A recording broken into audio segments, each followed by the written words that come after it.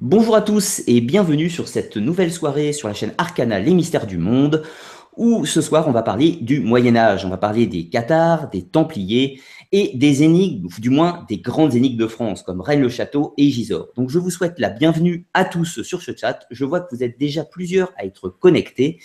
Donc, bien évidemment, 3 heures, enfin 2h30, 3 heures d'émission, suivant votre forme et notre forme, où l'on répondra autant que faire se peut à vos questions. Donc, je vais laisser quelques minutes, bien évidemment, les gens que vous ayez le temps de vous connecter. Je vous le dis quand même, pensez, euh, avant de poser des questions, à marquer « question » avant de la poser. Ça me permettra de les retrouver sur le chat. Et ne les posez pas tout de suite, mais attendez un petit peu que l'on soit dans les phases de questions que je vais vous annoncer dans la soirée. Donc, encore une fois, bonjour à tous pour cette soirée où l'on va parler donc des énigmes de France. Mais je ne vais pas en parler tout seul. Ce soir, avec moi, j'ai invité Christian Doumergue, qui est auteur, historien, documentaliste et expert de cette période, et notamment de l'affaire de Rennes-le-Château. J'imagine que certains d'entre vous le connaissent déjà, mais si ce n'est pas le cas, je vais lui laisser la parole pour qu'il puisse se présenter.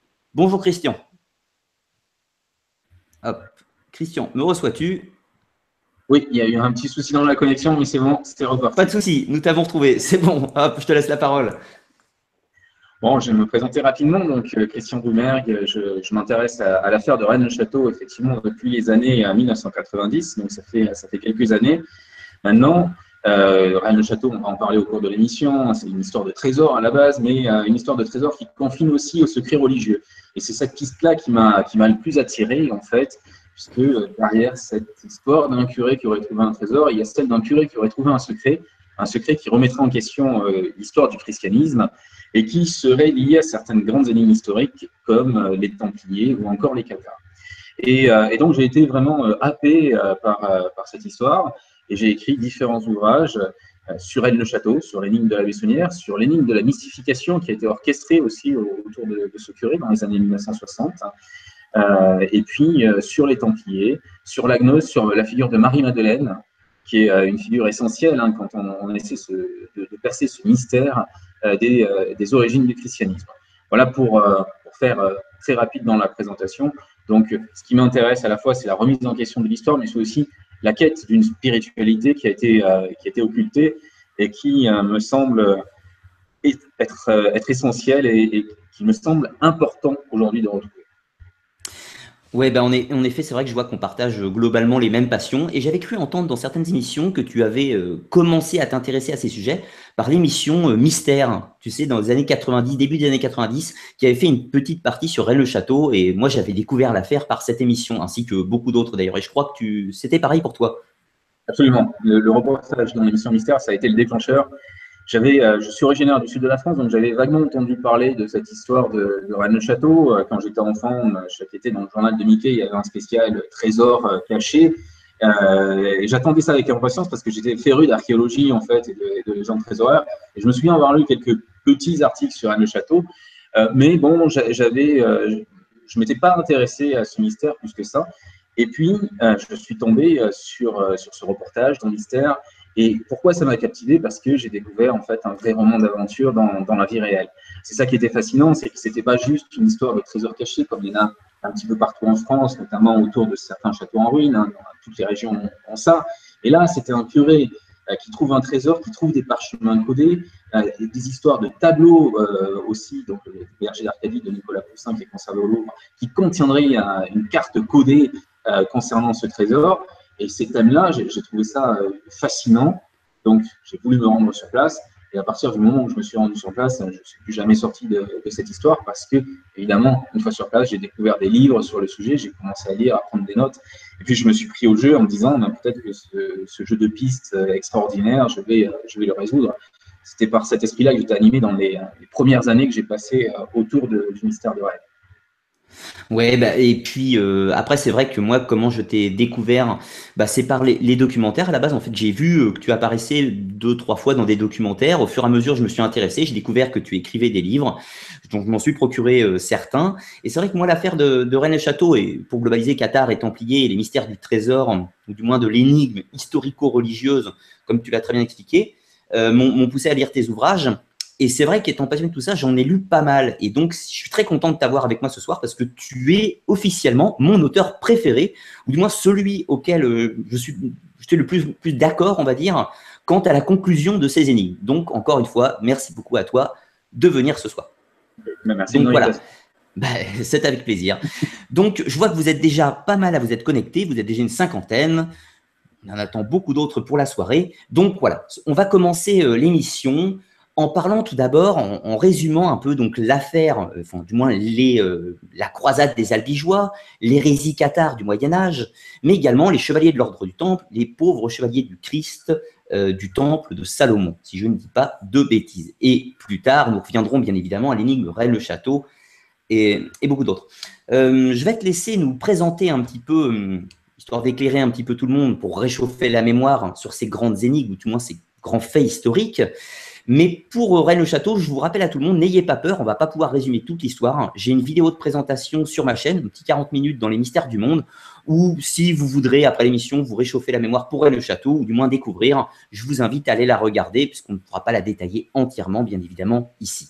Alors, je vais te laisser la parole et nous laisser te laisser présenter les chevaliers de, l'ordre du Temple et ces mystiques cathares du Moyen Âge. Alors, je vais euh, donc euh, commencer par, les chevaliers de l'ordre du Temple, donc les, fameux Templiers.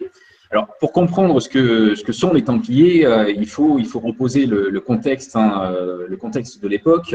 Donc, comme, comme tu l'as dit, on Petit souci. Ah, c'est bon, ça revient. C'est bon, ça revient. Oui, c'est bon, c'est revenu. Ok. Euh, donc on est, on est au Moyen Âge, dans le contexte euh, d'un Moyen Âge chrétien, avec euh, cette idée que la tombe du Christ donc, se trouve à Jérusalem et que les chrétiens doivent se rendre au cours de leur vie sur ce tombeau du Christ, c'est-à-dire là où Jésus a été déposé avant de ressusciter, hein, d'après l'Église catholique romaine. Et euh, le, devoir du chrétien, c'est de se rendre en pèlerinage là-bas, en partant d'Europe et en allant à Jérusalem. Sauf que euh, fin du XIe siècle, fin des années 1070, euh, les Turcs vont mettre la main sur Jérusalem. Alors, la ville était déjà avec une occupation musulmane, mais il y avait une tolérance qui permettait aux chrétiens de se rendre sans aucun problème sur la tombe du Christ.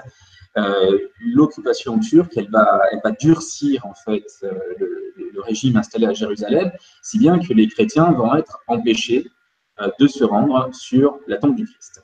Et parallèlement à ça, on a une expansion de cet empire turc en direction de la Grèce qui va énormément inquiéter les chrétiens d'Orient. Alors là, autre petit, rappel historique, hein, le, Moyen Âge à cette époque-là est encore héritier euh, d'un point de vue de ces structures, on va dire politiques, entre guillemets, euh, de l'Empire romain. On sait que l'Empire romain s'était divisé en deux empires, l'Empire d'Occident et l'Empire d'Orient. Et donc le, Moyen-Âge chrétien est divisé pareillement en deux entités, le christianisme occidental et puis les empires chrétiens orientaux. Et donc ces chrétiens d'Orient se sentent extrêmement menacés par l'expansion turque et Alexis Comène, qui est leur représentant, l'équivalent du pape en quelque sorte, va euh, justement lancer un appel au pape et euh, il va euh, lui demander du secours puisque ces chrétiens se sentent à partir de là en danger. Et le, pape donc qui, qui est Urbain II va entendre cet appel et il va convoquer un, concile à, Clermont, donc en France, et le pape va demander au seigneur, aux chevaliers, d'aller porter secours à leurs frères orientaux. Il va donc prêcher euh, ce qu'on appelle une croisade. Il va lancer la première croisade. Et un homme euh, va y répondre, Godefroy de Bouillon, c'est le premier à accepter euh, cet appel, à le recevoir. Et il va donc mener cette croisade qui va prendre la direction de Jérusalem, puisque c'est la ville de Jérusalem qu'il va falloir libérer. Et effectivement. Et c'est le symbole, oui, vraiment. Voilà, c'est le symbole, c'est l'épicentre. Jérusalem, il faut bien comprendre que euh, c'est là où le Christ a vécu, c'est là où il est mort, où euh, il a vécu sa passion, donc les derniers jours euh, de souffrance, et le, christianisme a honoré tout un tas de lieux à Jérusalem liés à cette mémoire. La voie douloureuse, le Golgotha, le tombeau du Christ, le tombeau du Christ étant bien entendu le plus important. Donc Jérusalem et le lieu à libérer de la main des infidèles. Et cette tâche va être accomplie par les croisés qui vont effectivement, en 1099, reprendre la ville de Jérusalem.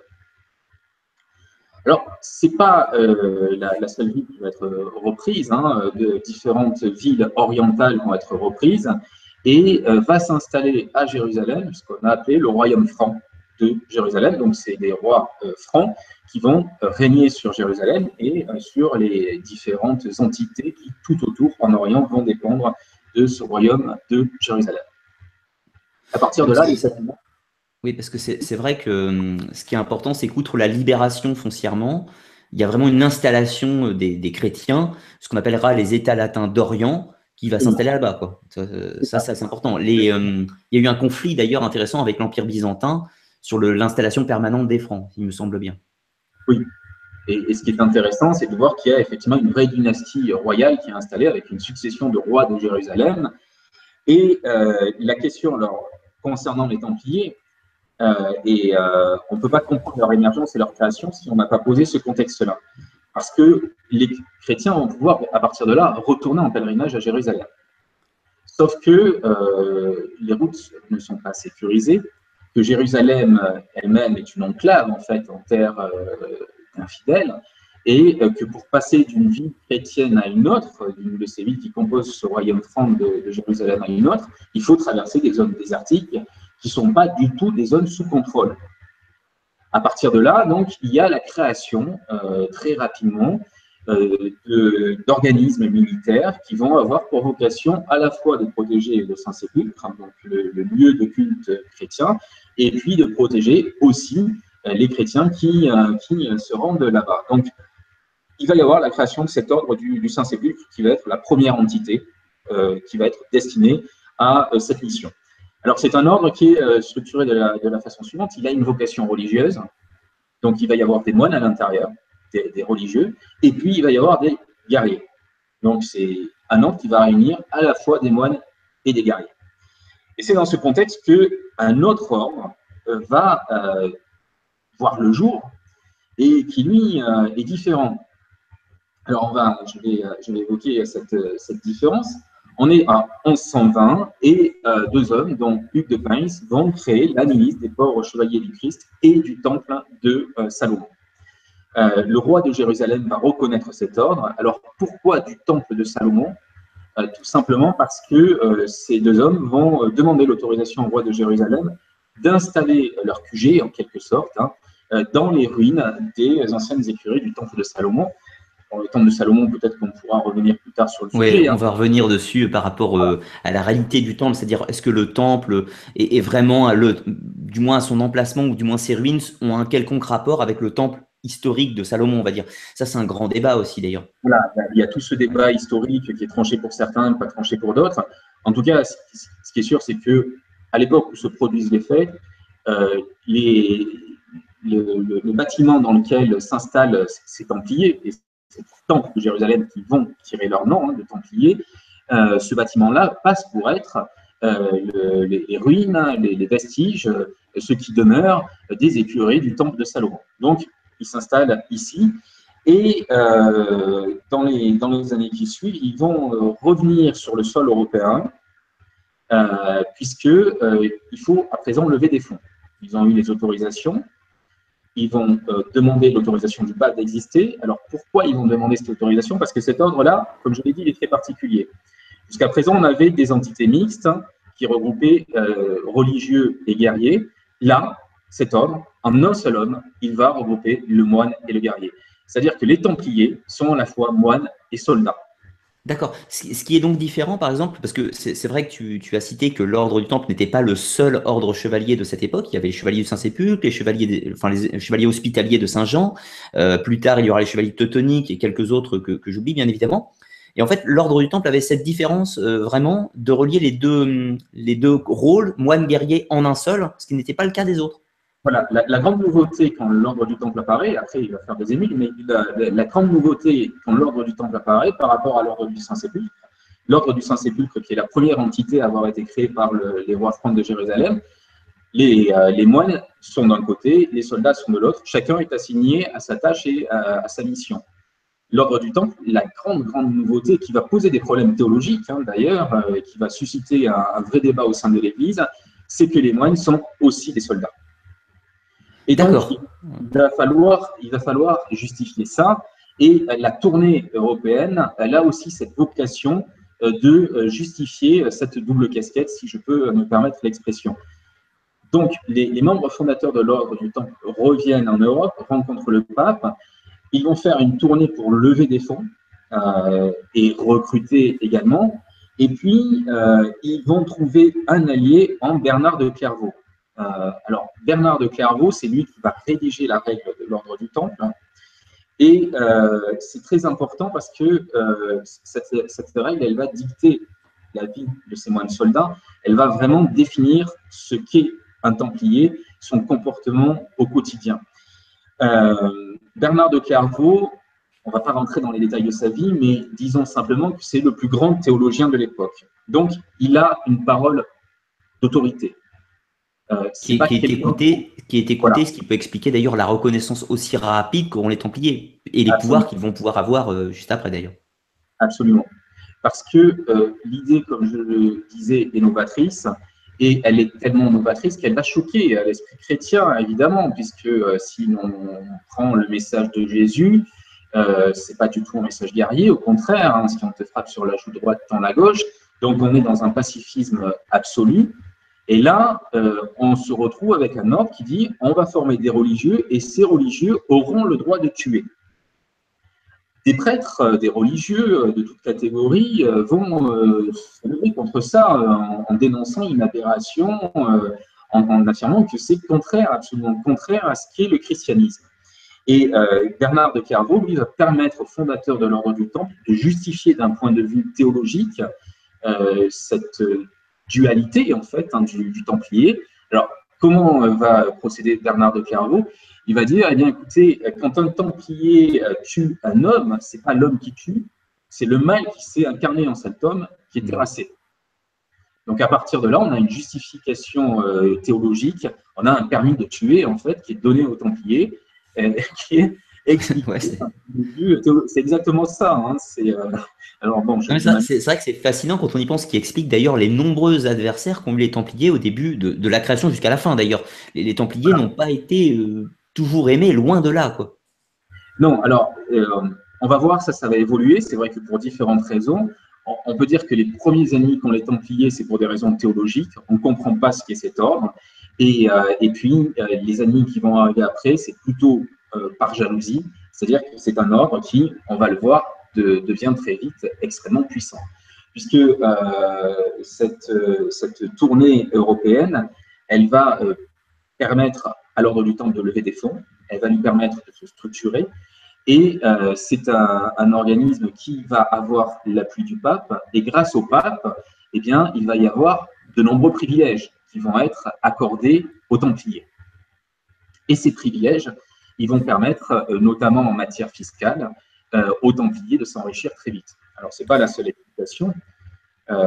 comprendre pourquoi les Templiers deviennent puissants, euh, il faut aussi euh, bien expliquer un fait, c'est que les Templiers, ils vont exister à la fois en Europe et en Orient.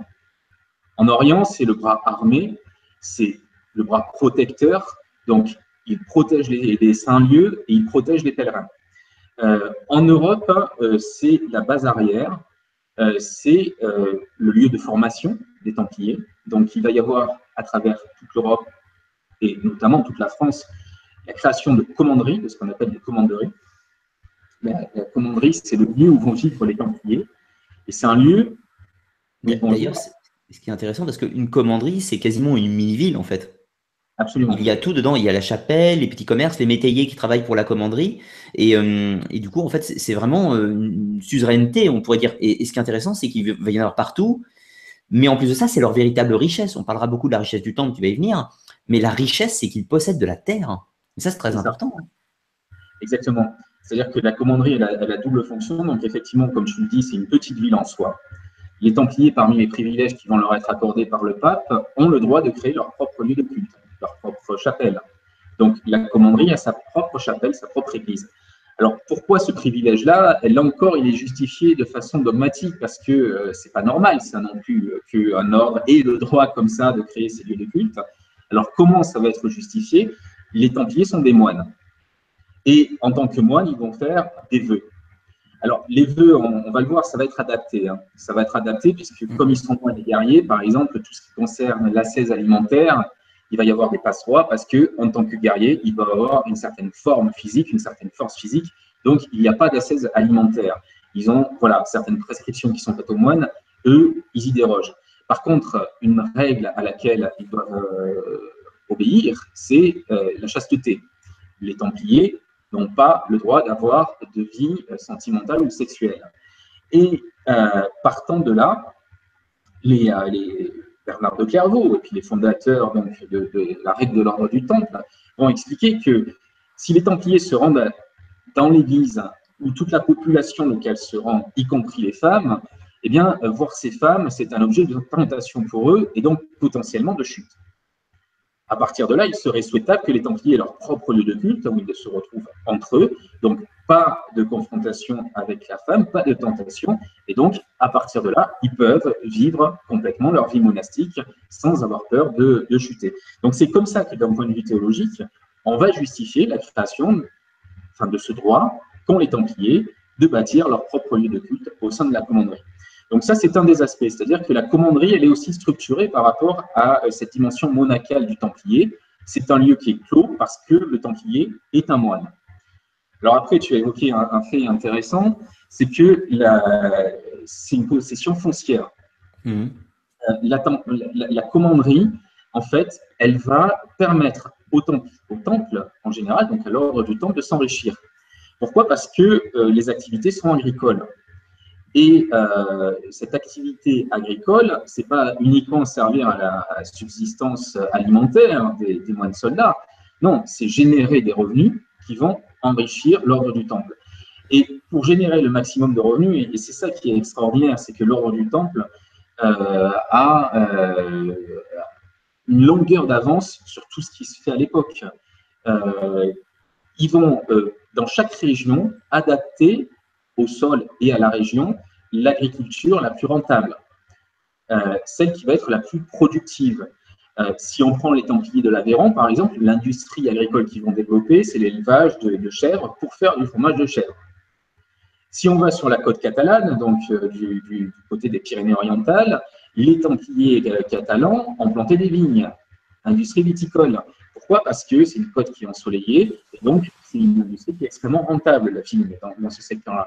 Donc, à chaque territoire, ils vont adapter euh, leur agriculture et ils vont développer l'industrie euh, qui est la source maximum de revenus de l'industrie la plus rentable.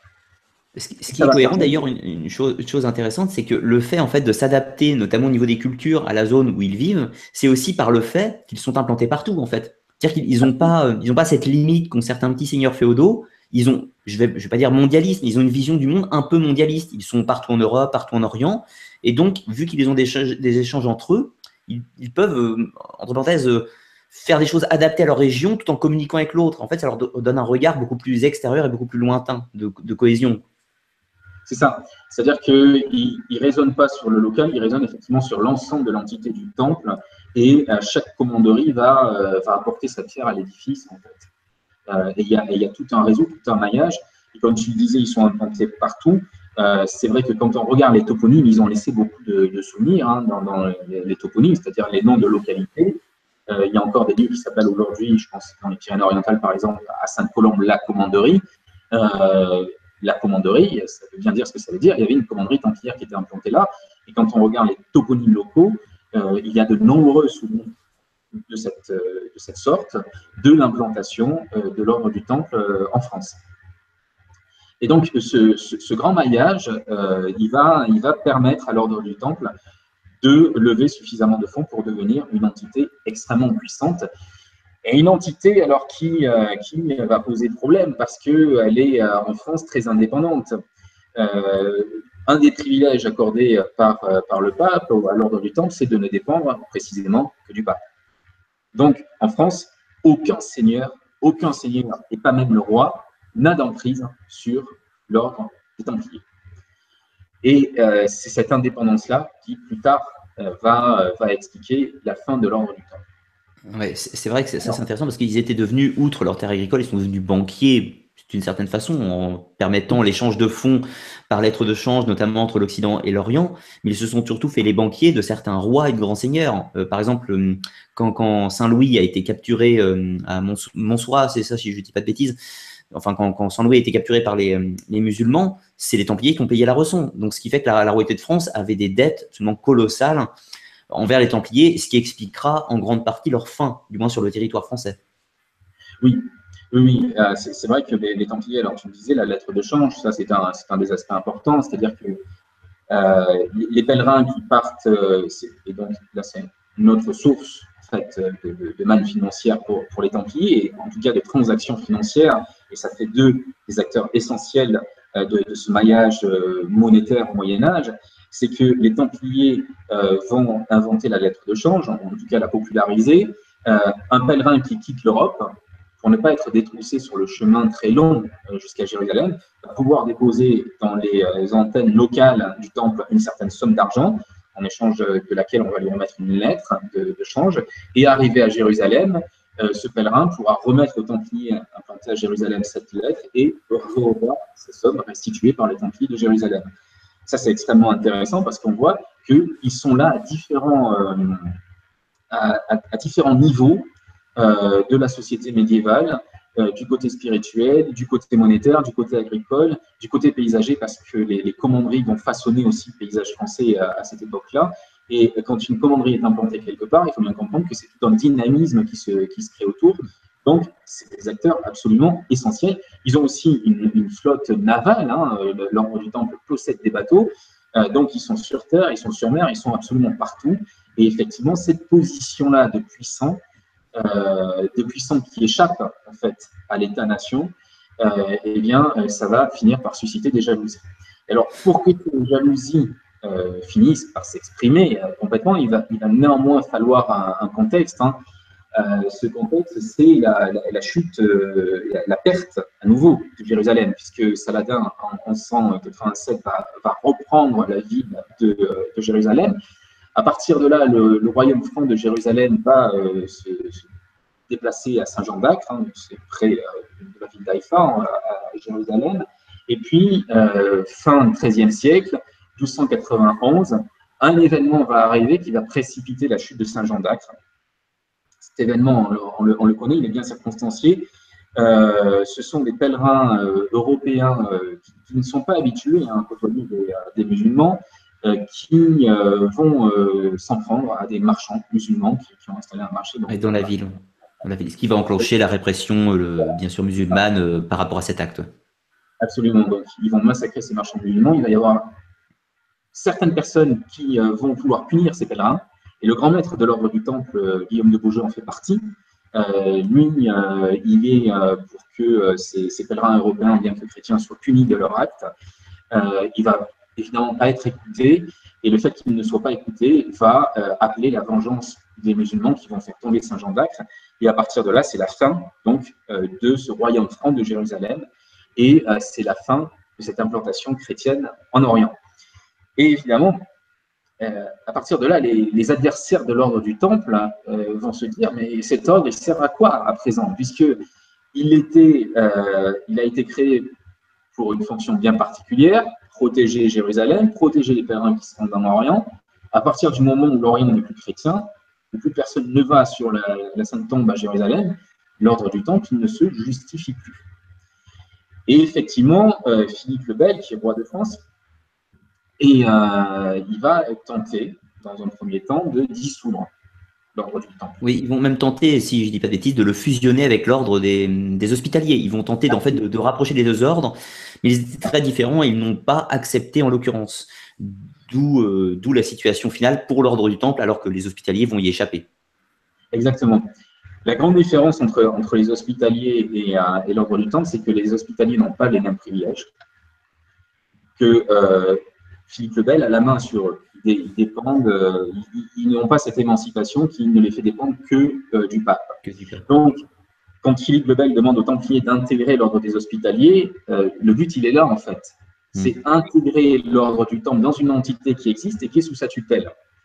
Et c'est peut-être pour cette raison-là que le grand maître de l'ordre du Temple va refuser cette fusion, il va s'y opposer, et en s'y opposant, à la fois il marque son indépendance, mais il signe aussi son arrêt de mort, puisque c'est suite à ça que euh, Philippe le Bel va trouver un autre prétexte pour euh, faire tomber, euh, cette fois de façon violente, l'ordre du Temple.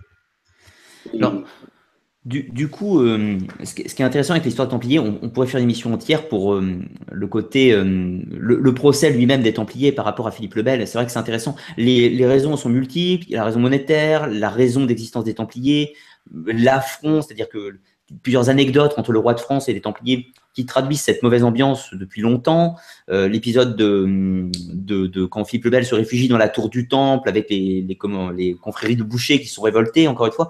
Il y a, beaucoup d'éléments. Mais ce qui est intéressant, c'est tout le côté hérétique qu'on leur porte. Pourquoi on, parle d'une hérésie dans l'ordre du Temple? Qu'est-ce qui, qui a poussé à ça? Qu'est-ce qu'il y a de, de factuel, de, de preuves Parce qu'entre ce qu'on dit et les faits réels, il y a souvent une différence. Et c'est vrai que notamment au cours du procès, il va y avoir la torture pour passer des Templiers à la question. Et sous la torture, on peut dire beaucoup de choses. Donc qu'est-ce qu'il y a de réel dans la dite hérésie des Templiers?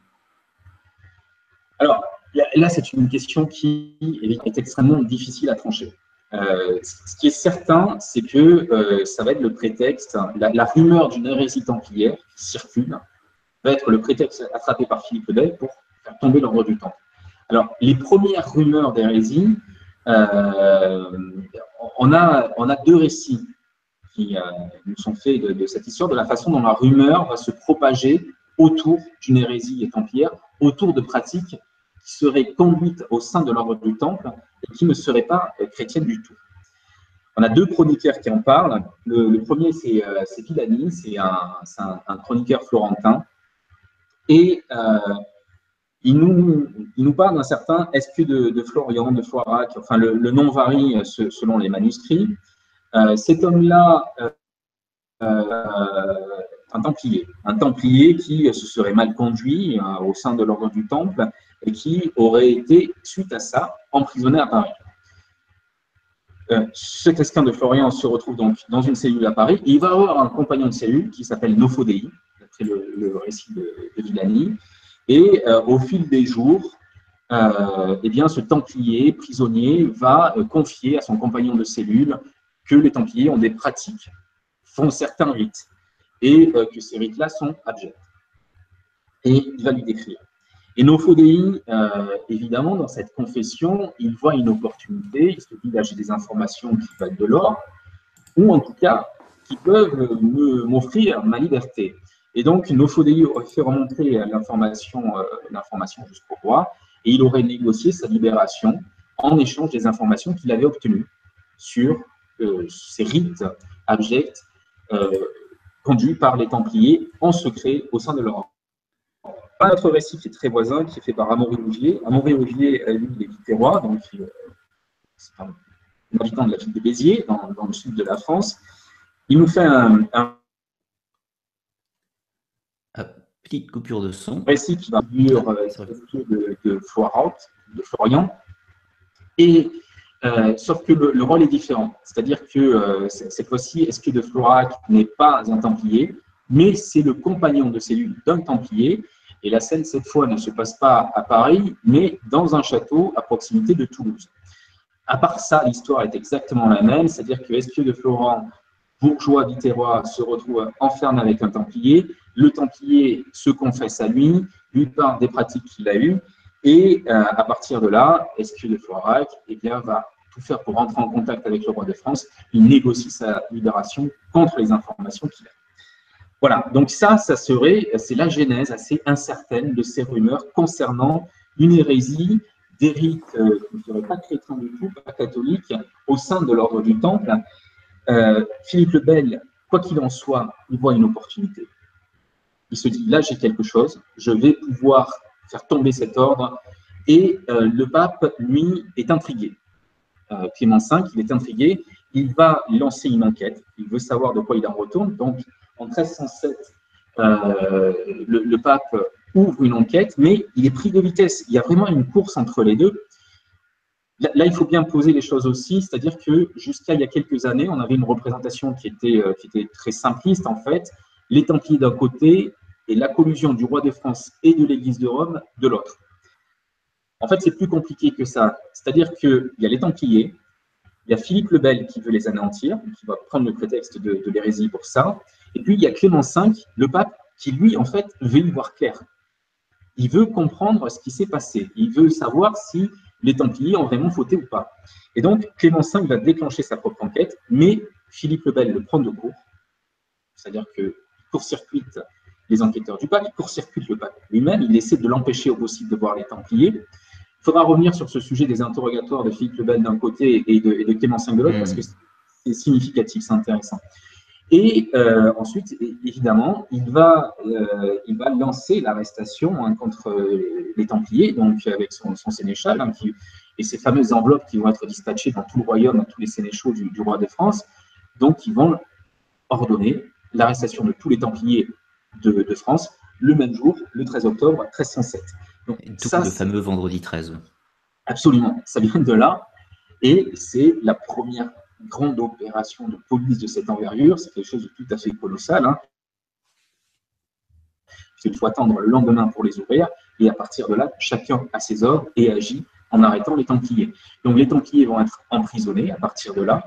Et euh, il va y avoir euh, ce fameux procès des Templiers qui va euh, durer plusieurs années. On arrive en 1314, et là, c'est la fin. C'est la fin définitive de l'ordre du Temple avec euh, le fameux bûcher de Jacques de Molay, donc dernier grand maître de l'ordre du Temple, euh, qui va brûler sur euh, l'île de la Cité à Paris. Et il y aura donc après qui, qui vont naître avec cette fameuse malédiction des Templiers. Et donc pour en revenir sur, sur l'hérésie, c'est dans le cadre de ce procès, de cette enquête, euh, qu'on va apprendre certaines choses sur les Templiers.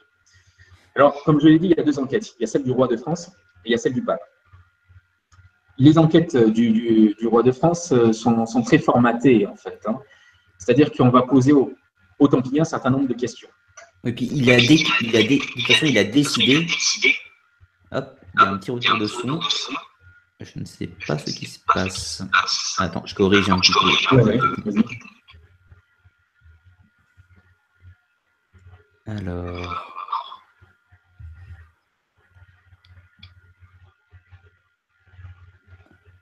Tu as une vidéo ouverte de ton côté? Ah non, non, non, j'ai rien, j'ai, rien ouvert là. Non, non. C'est moi, j'entends ça en plus. Excuse-moi, il faut que je corrige ça parce que sinon ça va être très compliqué. Ah, c'est bon, ça s'est corrigé tout seul. Bon, les mystères de l'Internet. Oui, euh, ce, qui, est intéressant, c'est que de toute façon, le, le, roi de France avait décidé de les condamner. C'est-à-dire que s'il y a des preuves, tant mieux. S'il n'y en a pas, on va les créer. D'une certaine, du moins, on va faire en sorte d'avoir une preuve pour les accabler, en fait. C'était complètement engagé et parti pris. C'est ça, exactement. Donc, ça veut dire euh, qu'il va y avoir l'usage de la torture, par exemple, comme tu l'as évoqué tout à l'heure, pour euh, extraire certains aveux, et qu'on a toute une liste de questions qui sont très formatées. Et en fait, quand on regarde ces questions, euh, il y a tous les attendus d'un procès en hérésie. C'est-à-dire, par exemple, on va demander aux Templiers Avez-vous adoré un chat? Hmm.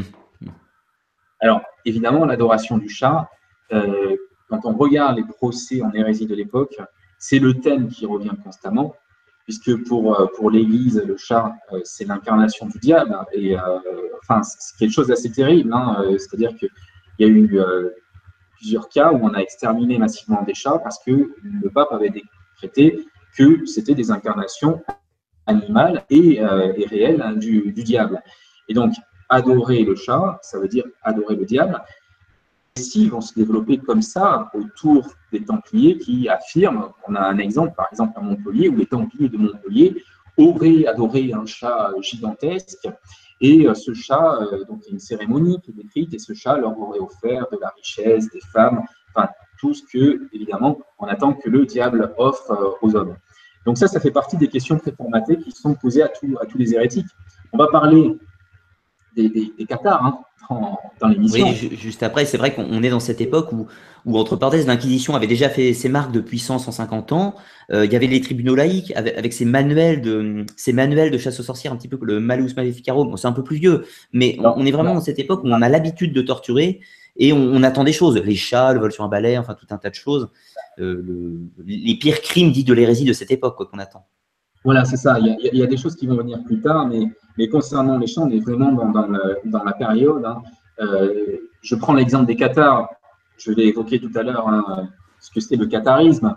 Euh, mais certains théologiens comme Alain Deville euh, vont expliquer que euh, Qatar, ça vient de Kat, le chat, et que donc les Qatars sont des adorateurs du chat. On va, on va leur porter le même chef d'accusation. Alors, on va voir tout à l'heure, le mot Qatar n'a rien à voir avec chat, mais on voit quel est l'imaginaire des religieux de, cette période-là, et on voit qu'ils ont tout un tas d'attendus quand ils s'entraînent à des, à des hérétiques. Donc, dans la liste des griefs portés aux Templiers, il y a tout un tas de, choses comme ça qui auraient pu être portées contre n'importe quelle autre hérésie. Et en fait, quand on, lit ces éléments-là, ça ne nous apprend rien sur les pratiques de l'ordre du Temple et sur euh, ce que certainement les Templiers ont fait. Par contre, il y a des particularités. Euh, le blasphème sur la croix, par exemple, ça c'est quelque chose qui est euh, vraiment spécifique, qui apparaît dans le, procès des Templiers. On les accuse d'avoir renié le crucifix on les accuse euh, de cracher sur la croix, de la piétiner, de, d'humilier euh, la figure du crucifié. Euh, ce qui est intéressant, c'est que, comme je disais, il y, a, il y a deux procès. Il y a celui de Philippe le Bel, où on demande est-ce que vous avez fait ceci? Et le Templier répond oui ou non. Et ça s'arrête là. Les, les procès qu'on a conservés, les procès d'enquête qu'on a conservés du côté du Vatican et qu'on connaît depuis peu de temps, eux, ils sont beaucoup plus approfondis. C'est-à-dire qu'on posait une question aux Templiers, est-ce que vous avez craché sur la croix? Oui, non. Et puis on demandait, euh, est-ce que vous l'avez fait plusieurs fois? Euh, Non, je ne l'ai fait qu'une fois. Et pourquoi l'avez-vous fait? Donc il y avait une justification. Et c'est là que c'est intéressant, c'est qu'on voit que sur cette question-là de, crucifix injurié, euh, humilié,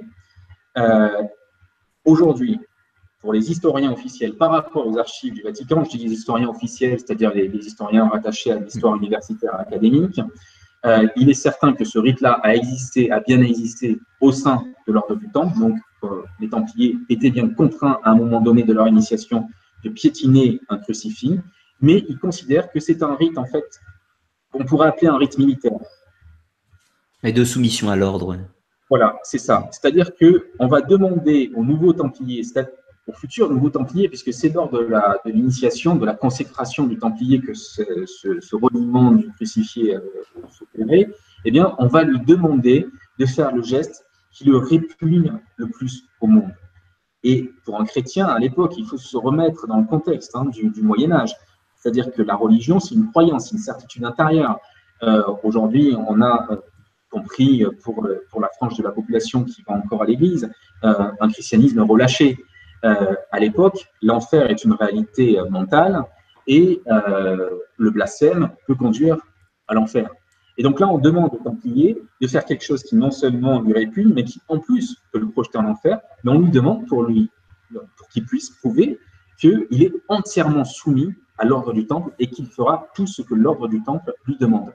Donc le reniement de la croix, très certainement, et je partage cette opinion, il faut le situer dans ce contexte-là, d'un rite d'appartenance, d'un rite de soumission, un qui pourrait préparer aussi à ce qui allait se passer en Orient, c'est-à-dire que ces Templiers, il faut bien comprendre qu'ils pouvaient être capturés par les, musulmans, ils pouvaient être éventuellement torturés, on pouvait leur demander de faire des choses pour donner certaines informations, et donc ils devaient aussi s'apprêter euh, à, euh, à, vivre euh, ces scènes-là. Hmm. Ce reniement du, du, crucifié, il passe pour être aussi une préparation à ce que le Templier allait vivre d'un point de vue guerrier en, Orient. Oui, par rapport à la torture.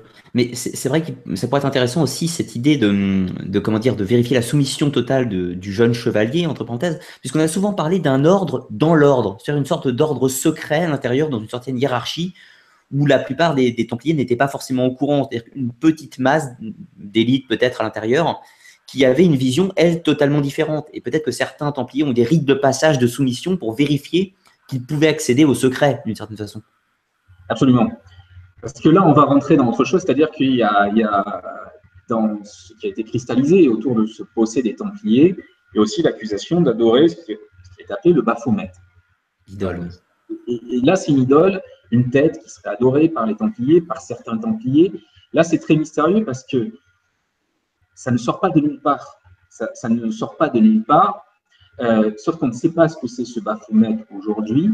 Alors, il y a eu différentes interprétations. On a voulu rapprocher ça de Mahomet. Pourquoi? Parce qu'en Occident, euh, Baphoméria, euh, c'est Mahomet, c'est une mosquée. Donc, on a voulu dire que les Templiers peut-être étaient musulmans, avaient un culte musulman.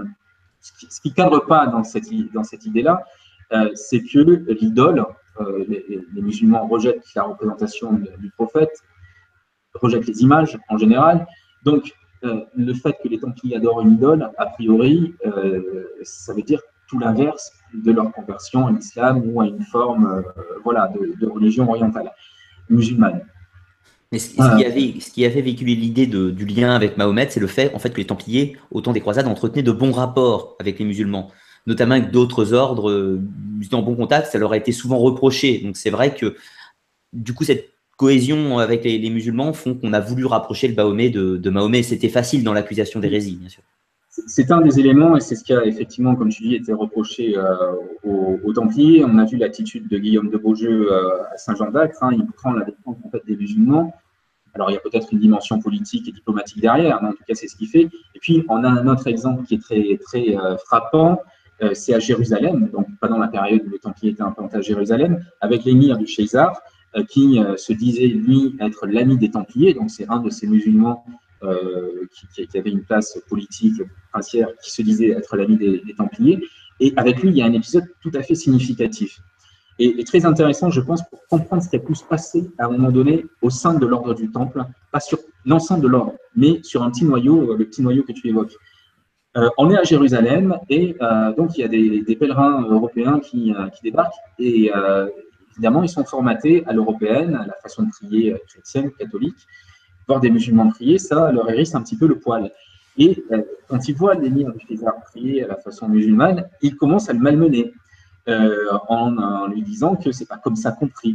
Euh, il y a des Templiers qui sont dans, les environs, qui voient la scène et qui vont venir prendre la défense de, l'émir et repousser euh, ces, chrétiens venus euh, d'Europe, ces pèlerins. Les Templiers s'éloignent, les, pèlerins reviennent à la charge, rebousculent donc l'émir, et la scène va se répéter trois fois jusqu'à ce que les Templiers vraiment deviennent un peu plus virulents et leur disent de, dégager. Alors ça, c'est intéressant parce que ça nous montre qu'en Orient, au contact donc de, populations d'une culture différente, certains Templiers ont développé euh, une vision de la religion complètement différente de la vision qui avait lieu et qui avait cours en Europe. C'est-à-dire qu'il y a une ouverture d'esprit euh, euh, qui, s'est créée. On ne prie pas de la même façon, nous n'avons pas les mêmes croyances, mais ce n'est pas parce qu'on ne prie pas de la même façon qu'on doit s'entretuer et qu'on doit se violenter. Et ça, enfin, ça me semble être absolument essentiel parce que sur le sol européen, on va retrouver ça euh, concernant les liens entre les Templiers et les Cathares. Et en Orient, il y a fort à parier que ce contact rapproché et pacifié entre euh, certains Templiers et certains musulmans ont pu conduire les Templiers à rentrer en possession de traditions spirituelles étrangères à leur religion pour certaines, et à d'autres traditions, et c'est là que ça, à mon sens, on touche le, cœur du mystère, à d'autres traditions liées à leur religion. Alors pourquoi je dis ça? Parce qu'on sait euh, qu'au sein euh, de, cet islam-là du, Moyen Âge, avait survécu un certain nombre de traditions chrétiennes gnostiques. Je reviendrai quand on va parler du catharisme sur, sur la gnose, mais enfin c'est une hérésie chrétienne des premiers siècles il y avait certaines traditions, par exemple, qui, euh, dans la gnose, affirmaient que Jésus avait échappé à la crucifixion, qu'il avait pris la forme physique d'un autre homme, un certain Simon, et qu'il euh, avait donné son apparence physique à ce Simon qui avait été crucifié à sa place. On a ça notamment les, deux versions du christianisme, c'est-à-dire le christianisme qu'on va dire judaïque et le christianisme hellénique notamment un petit peu. c'est-à-dire que le christianisme n'est pas un courant euh, unique à, ses départs et donc il y a des, plusieurs vaisseaux, plusieurs cultures qui ont peut-être pu subsister, notamment en Orient en l'occurrence. Voilà, c'est-à-dire qu'il y a un christianisme, et tout à l'heure il faudra qu'on revienne là-dessus. Hein, oui, c'est prévu, on va revenir de toute façon sur toute cette vision. Euh. Et, c'est vraiment le cœur, le cœur de notre sujet ce soir. mais ce qu'il faut comprendre, c'est que donc des traditions chrétiennes qui remettaient en question la, version catholique de l'histoire de Jésus, en fait, avaient survécu au sein de certaines traditions musulmanes et que pour moi, il ne fait pas de doute que les Templiers, sans rentrer en contact avec ces traditions-là, et que leur contact avec l'autre en Orient a aussi amené les Templiers à revoir leur propre vision du christianisme et de leur propre religion. C'est pas seulement une histoire de tolérance, hein, je, crois, qui est en jeu dans cette histoire, c'est aussi une question de spiritualité. Et au sein des Templiers, certainement, s'est constituée une espèce d'élite spirituelle euh, qui dépassait le dogme, euh, qui avait une vision beaucoup plus élevée que la croyance, qui était dans une foi et une spiritualité authentique. Et euh, au sein de ce groupe-là, certainement, s'est développé un christianisme différent euh, qui les a conduits à, des croyances qui ont été jugées hérétiques. À leur fin, oui. Et ça, c'est vrai que c'est très intéressant parce que ce, principe du noyau dur avec cette croyance due au contact avec le monde oriental a pu germer ces nouvelles idées, mais néanmoins, ils ne pouvaient pas le révéler à tout le monde sur la simple raison qu'ils étaient protégés par le pape, ils étaient dans un monde complètement chrétien, et afficher ces idées officiellement aurait été leur fin bien plus tôt. Après, d'où l'intrigue. Est-ce que Philippe le Bel a entendu parler de ses croyances et du coup s'est attaqué à eux, ou est-ce que bah, c'est un coup de bol euh, d'une certaine façon qu'il y avait une hérésie dans le, dans le temple? Ça, c'est un grand débat aussi, en l'occurrence. Alors, oui. Hmm, je vais commencer à vous inviter à poser quelques questions, notamment sur l'ordre du temple. Puis nous, on va, on va continuer à détailler tout ça, et surtout pour faire le lien avec les Qatars juste après. Donc, au niveau des Templiers. Donc, on voit ce contact avec l'Orient qui, est très intéressant et qui a pu modifier cette pensée. Mais ce n'est pas un cas unique. Le, cas des Templiers, ou du moins cette euh, croyance différente, ça a germé dans un autre ordre, les Cathares en l'occurrence. Donc, est-ce que tu peux nous expliquer un petit peu dans quel contexte euh, est apparu le catharisme et surtout euh, quel était leur culte, ou du moins leur différence avec le christianisme, et ce qui a aussi mené à leur perte en l'occurrence? Alors, les, les Qatars, donc euh, là, on, revient sur le, territoire strictement, euh, strictement européen. Oui, oui. Euh, on est autour de l'an 1000 et on va assister à ce moment-là à ce que les historiens ont appelé le printemps des hérésies. C'est-à-dire qu'autour de l'an 1000, un petit peu partout en Europe, et j'insiste sur le fait qu'on a, on a une vision très méridionale aujourd'hui du qatarisme, mais un petit peu partout en Europe, y compris jusqu'en Allemagne, vont se développer un certain nombre d'hérésies. Euh, des hérésies qui euh, vont avoir des, des, airs de ressemblance entre elles, hein, euh, même si elles vont porter différents noms en fonction des lieux, elles vont avoir des points communs. On a, alors il faut, déjà préciser ça, on a très peu d'éléments sur certaines de ces hérésies. Mais le peu d'éléments qu'on a nous permet quand même de définir des traits de caractère communs. Je, je reviendrai là-dessus après.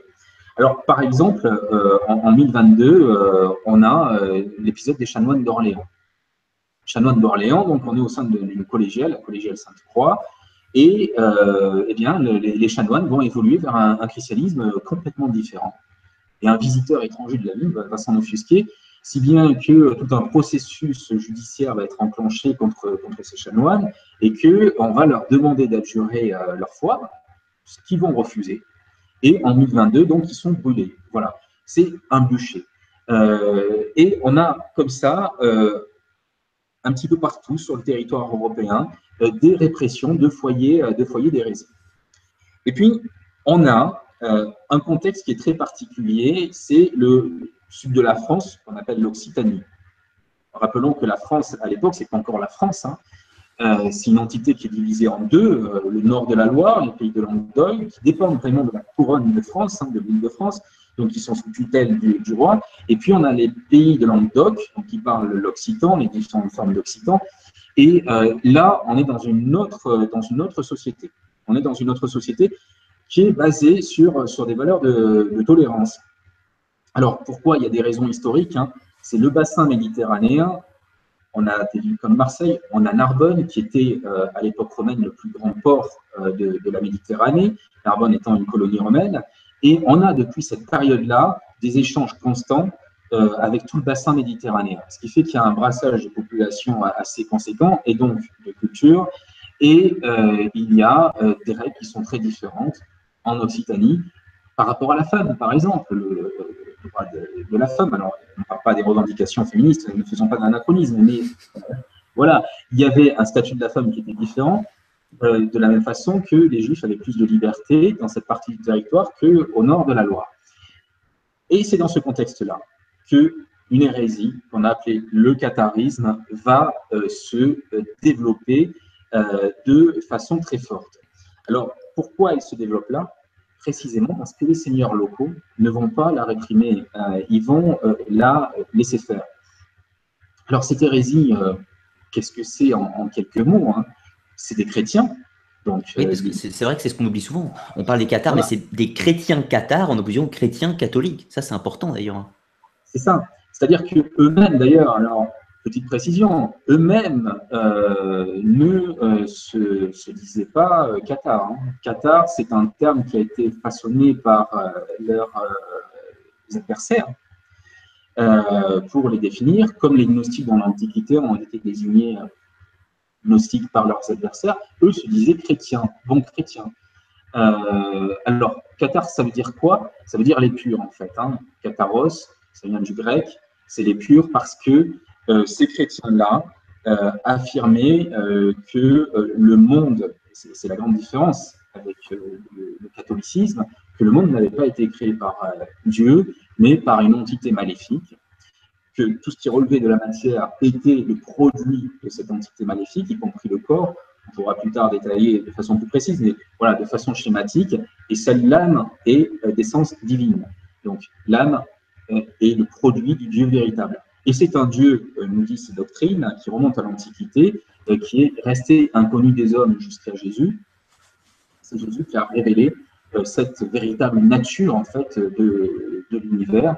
Et donc à partir de là, il y a un chemin de purification qui est tracé, c'est-à-dire que l'âme d'essence divine va devoir s'arracher à la prison maléfique de la matière et regagner le plérum, c'est-à-dire le, royaume de la totalité, le royaume divin. Euh, ce christianisme-là, il va prospérer dans le sud de la France euh, pour différentes raisons. Un, parce qu'il parle différemment aux gens. Euh, deux, parce qu'on le, on le laisse, comme je l'ai dit, prospérer. Hein, les, seigneurs occidentaux. Ils ont une tolérance, une tolérance envers le catharisme où les chrétiens et cathares vivent plus ou moins en harmonie d'ailleurs, vivent ensemble. Hein. Et, on verra qu'il y a une vraie fraternité à un moment donné qui s'est créée entre eux. Et alors pourquoi ce catharisme fonctionne? Euh, Outre le discours donc, théologique qui est, différent, euh, il y a quelque chose qui frappe les esprits.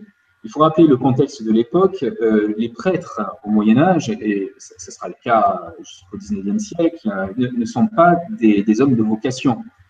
C'est-à-dire que la, prêtrise est une posture sociale, et la plupart des hommes qui sont prêtres se sont vus imposer ce rôle par rapport à la position de leur famille. Donc, ce pas des hommes de conviction, ce pas des hommes qui sont animés par une quête spirituelle pour beaucoup d'entre eux. Et euh, partant de là, beaucoup d'entre eux ont une vie euh, qui n'est pas en accord avec euh, leur message spirituel. D'un côté les paroles, de l'autre de l'autre les actes. Ce qui fait qu'on a des prêtres, des évêques qui mènent une vie complètement dissolue. Et à côté de ça, la population voit des cathares qui, eux, alors pour le coup, personne ne leur a imposé ce choix. C'est eux qui ont choisi cette spiritualité ils disent quelque chose et ils font la, même chose. Ils vivent en harmonie avec le message qu'ils portent. Et c'est un message d'ascèse. Hein. Les, les cathares sont très euh, rigoureux, on, va le voir. Donc, euh, voilà, ça passe pour être des saints hommes et des saintes femmes, puisqu'il y a aussi, évidemment, beaucoup de, femmes cathares. Et donc, la population, entre les deux, elle a le fait de voir où se situe la vérité. Ce qui fait que cette église cathare, elle, grossit, elle grossit, et elle va commencer à se structurer en, évêché dans le sud de la France. Donc, il y a des évêchés cathares qui sont, qui sont créés. Et c'est là que euh, l'Église va se dire, il y a un problème. Il y a un problème parce que c'est plus des petits groupes d'hérétiques qui s'installent ici et là. Non, c'est une véritable Église concurrente qui est en train de voir le jour, qui se structure à la façon de l'Église, avec des évêchés. Et à partir de là, l'Église se sent, euh, eh bien, elle se sent menacée. Et donc, en 1209, le pape Innocent II va prêcher euh, une croisade contre les Albigeois, ça se passe à Désolé. Euh, il va euh, donc demander à des seigneurs d'Île-de-France, des petits seigneurs en général, comme Simon de, Montfort, hein, qui, ont des, territoires plutôt réduits, eh bien, de se croiser contre cette abomination terrible qui est, qui est le catharisme. ce qui est important de comprendre, c'est que ça menaçait vraiment le christianisme. Ça avait pris, comme tu l'as dit, des très grandes, de très grandes proportions. Mais en plus de ça, il prenait une véritable pauvreté contre une église qui était une église qui était très riche à l'époque et qui prélevait des impôts. Mais une différence qui est notoire aussi, moi qui m'avait frappé, c'est le fait que les, prêtres cathares, si on peut les appeler comme ça, les bons hommes ou les bonnes femmes comme on les appelait, euh, travaillaient. C'est-à-dire que pour eux, la prêtrise n'était pas le métier, ils devaient quand même travailler à côté de ça, ce qui était quand même très différent de l'église de cette époque. Oui. Il y, avait, il y avait énormément de différences et puis euh, ce qui, je, trouve est assez frappant, c'est que il y avait euh, chacun avait un rôle bien défini dans, cette église cathare. Les cathares, on peut, on peut les, les, les les distinguer en deux groupes. Hein. Au sein du catharisme, il y a d'un côté ce qu'on appelle les parfaits et les parfaites, et euh, de l'autre les, croyants. Ils, acceptaient les femmes, ce qui est quand déjà en totale contradiction avec le catholicisme.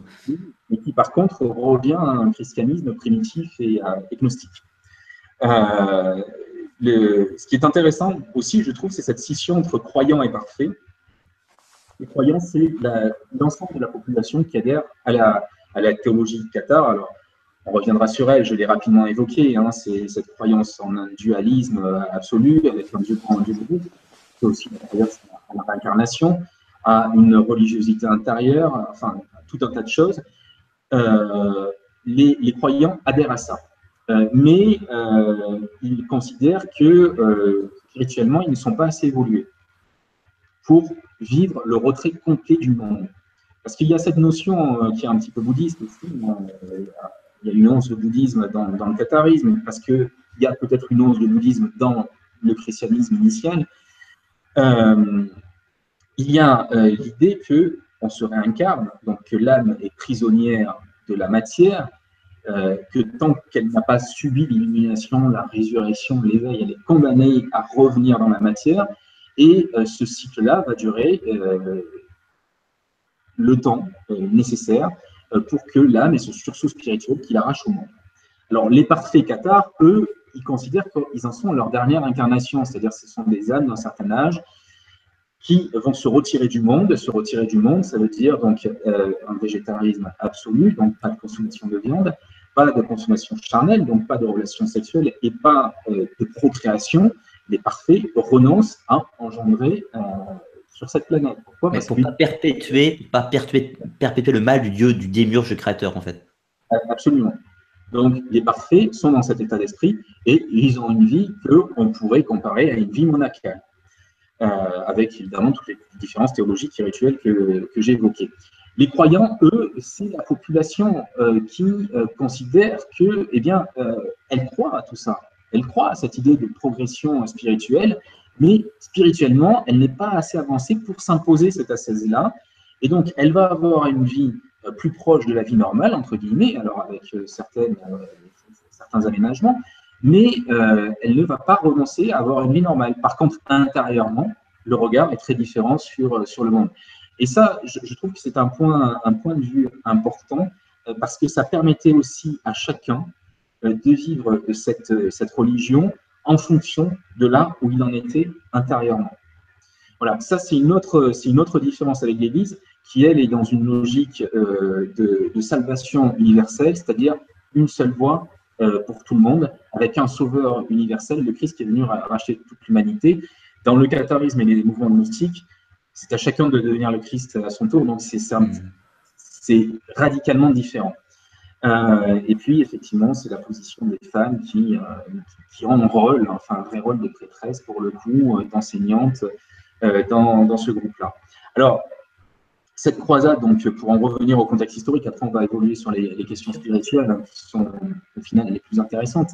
Mais cette croisade donc, est prêchée en 1209 par le pape, et c'est une alliance en fait entre, entre l'Église qui veut étouffer cette Église parallèle, concurrente, et puis des petits seigneurs d'Île-de-France, et, d'ailleurs en nord de la Loire, euh, qui vont voir une opportunité de conquête euh, immense. Pourquoi? Parce que, eh bien, ils participent à la croisade et en échange, euh, eh bien, le pape leur dit vous vous battez pour Dieu, les terres que vous allez faire tomber, les terres de ces seigneurs occitans qui sont ralliés au catharisme, que vous allez replacer sous l'hégémonie divine, eh bien, elles seront à vous dans le monde matériel, dans le monde terrestre.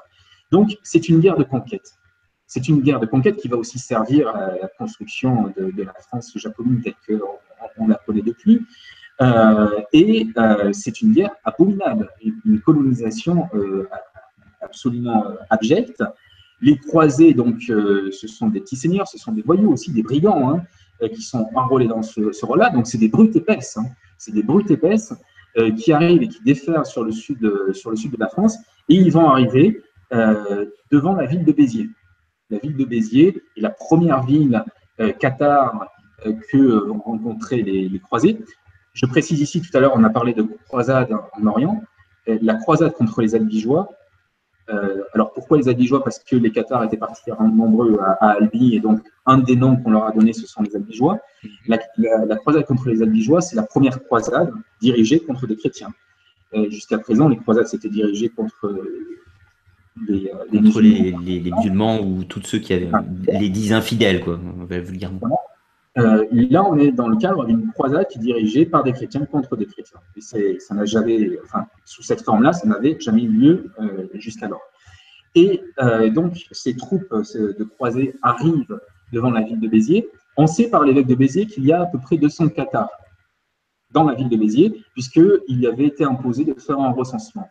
Donc, les croisés arrivent et demandent au Biterrois de livrer ces 200 cathares dont on connaît les noms c'est là qu'on voit qu'il y avait une vraie fraternité qui s'était créée euh, entre, ces deux christianismes, c'est-à-dire que les habitants de Béziers, y compris les catholiques, y compris les prêtres hein, catholiques, vont refuser. Ils vont refuser en disant ces gens-là ne pensent pas comme nous, ils n'ont pas la même religion, ils n'ont pas le même christianisme, mais ce sont nos frères. Il est hors de question qu'on les livre. Et euh, c'est dans ce contexte que Arnaud Amaury aurait prononcé la fameuse phrase alors dont on peut contester l'authenticité, mais qui reflète ce qui s'est passé ce jour-là. Tuez-les tous, Dieu reconnaîtra les siens. Euh, parce que c'est ce qui s'est passé, c'est-à-dire que les chroniques nous disent clairement que tous les habitants de la ville de Béziers ont été tués. Euh, donc c'est un bain de sang. Certains se sont réfugiés dans l'église euh, Marie-Madeleine ou dans la cathédrale, on va y mettre le feu. Il n'y a pas un seul survivant du côté des cathares comme du côté des catholiques. Femmes et enfants et vieillards sont passés euh, au fil de l'été. Alors, les descriptions de l'époque, hein, des, récits, il y a une part de 20 000, 22 000, victimes.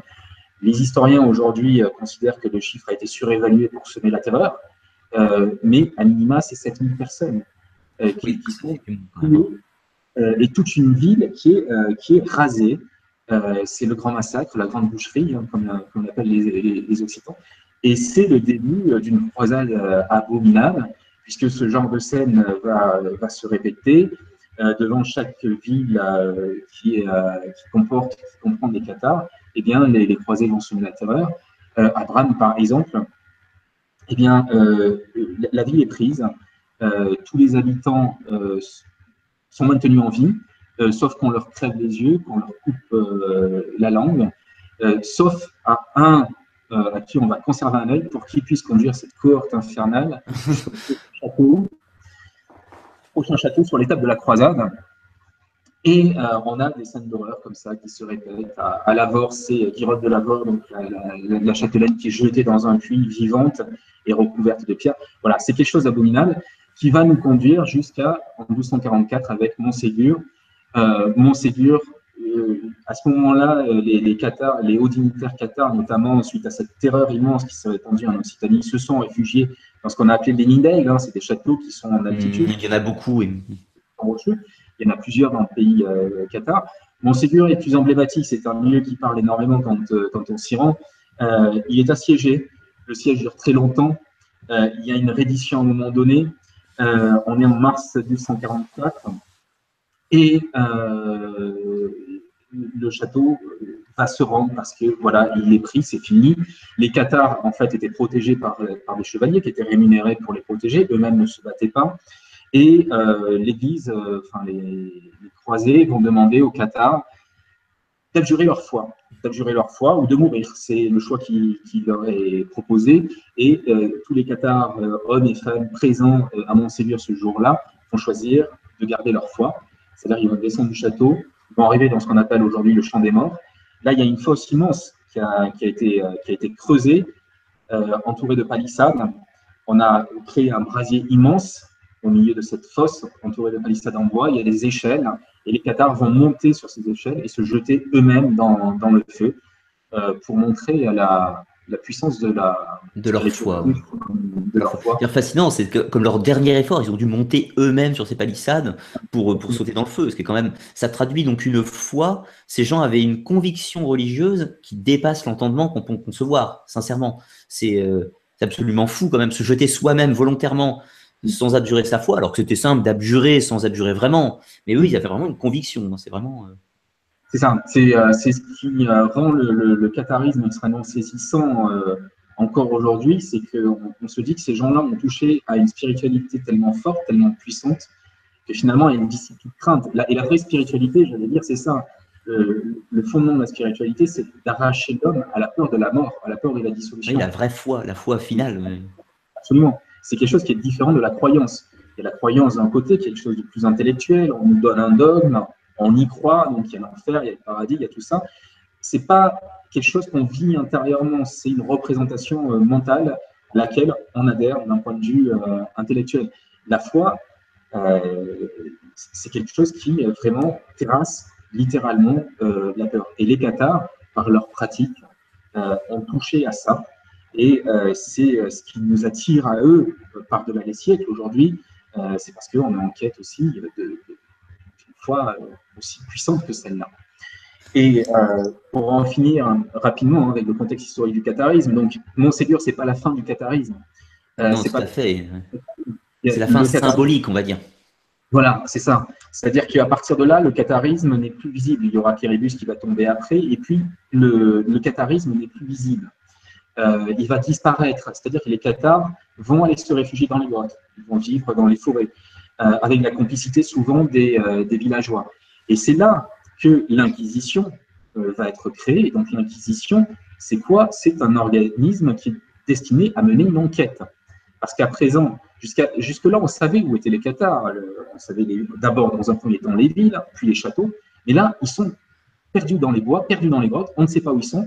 Et donc l'Inquisition est créée pour permettre à des enquêteurs d'interroger les villageois qui prêtent l'assistance au Qatar et qui euh, leur apportent de nourriture, euh, des, aides diverses, etc. Et, euh, et puis le, processus va être renforcé, c'est-à-dire qu'après la création de l'Inquisition, quelques temps après, le pape, par une bulle, a autorisé les inquisiteurs à user de la torture. Jusque-là, il n'était pas question de torturer. Et à partir de là, les inquisiteurs vont pouvoir torturer pour obtenir auprès des villageois les informations nécessaires pour traquer les Cathares jusque dans les grottes et les bois où, euh, où ils ont trouvé refuge. Et c'est comme ça sur une guerre de longue haleine. Euh, certains historiens occitans ont parlé de, 200 ans de Gestapo, euh, mais c'est exactement ça. Hein. c'est la Gestapo au Moyen Âge. c'est les mêmes pratiques pour défaire, extirper jusqu'au dernier Cathare. Ouais. C'est vraiment, c'était euh, créer, euh, créer la terreur en fait, foncièrement. J'ai le petit retour de son, comme tout à l'heure, ça va passer. Euh, c'est vraiment la terreur que, que, cette organisation a véhiculée pendant, euh, on va dire, une vingtaine d'années, et puis va, en fait va continuer après, se donner la chasse aux sorcières et tout un tas de, de choses, bien évidemment. Je te propose de prendre un petit peu les questions des, des auditeurs, y répondre un petit peu, et après, on va pouvoir rejoindre sur, bah, sur le grand secret, le trésor, euh, les mystérieux cathares qui ont fui Montségur, tu vas pouvoir nous expliquer tout ça, le trésor templier, les liens entre ces, ces templiers et ces cathares, puisque les templiers qui ont participé aux croisades n'ont pas participé, on va le voir, aux croisades contre les Cathares. On va essayer de voir un peu tous ces liens euh, gnostiques, comme tu l'as dit, entre ces organisations. Alors je remonte un petit peu pour trouver vos questions. Si je les loupe, hein, n'hésitez pas à les reposer un petit peu plus bas afin que je puisse la poser. Alors, question. Hum, il y a quelques... Est-ce que ça a Non, ça n'a pas de rapport. Alors, oui, question. Les chats sont sacrés pour les Égyptiens. Comment expliquer cette inversion dans l'Église catholique? Il y a beaucoup de questions sur les chats, je précise. Moi aussi, j'adore les chats. Est-ce que tu as une idée par rapport à ça? Ça, c'est très intriguant. Euh, alors, c'est quelque chose qui va venir progressivement. C'est-à-dire que euh, on n'a pas de lien formel entre la, place que tenait le chat euh, dans la religion égyptienne, est une place effectivement positive, sacralisée, et euh, l'inversion qui se déroule au Moyen Âge, tout ce qu'on peut constater, c'est que au Moyen Âge, dans plusieurs récits, on commence à avoir des, des, chats diaboliques qui, apparaissent. c'est des créatures un petit peu, monstrueuses qui, terrifient, qui terrifient les populations. On en a dans les récits de Saint Brendan, par exemple. Euh, on a Chapalut dans, dans le, cycle arthurien, donc ce, chat absolument monstrueux qui se serait battu avec, avec le roi Arthur. Euh, et donc, on a comme ça une image euh, d'une bête maléfique qui se développe dans l'imaginaire du Moyen Âge. Et progressivement, il y a une bascule qui se fait vers une diabolisation du chat. C'est-à-dire qu'il y a aussi une association du chat et de la mort qui, qui se crée. Euh, on a tout un tas de textes au Moyen Âge qui nous parlent de chats qui viennent recueillir l'âme des morts sur leur lit, qui se couchent en bas du lit et qui attendent l'âme du mort pour l'amener en enfer. Et euh, le chat, comme ça, progressivement devient une incarnation du diable.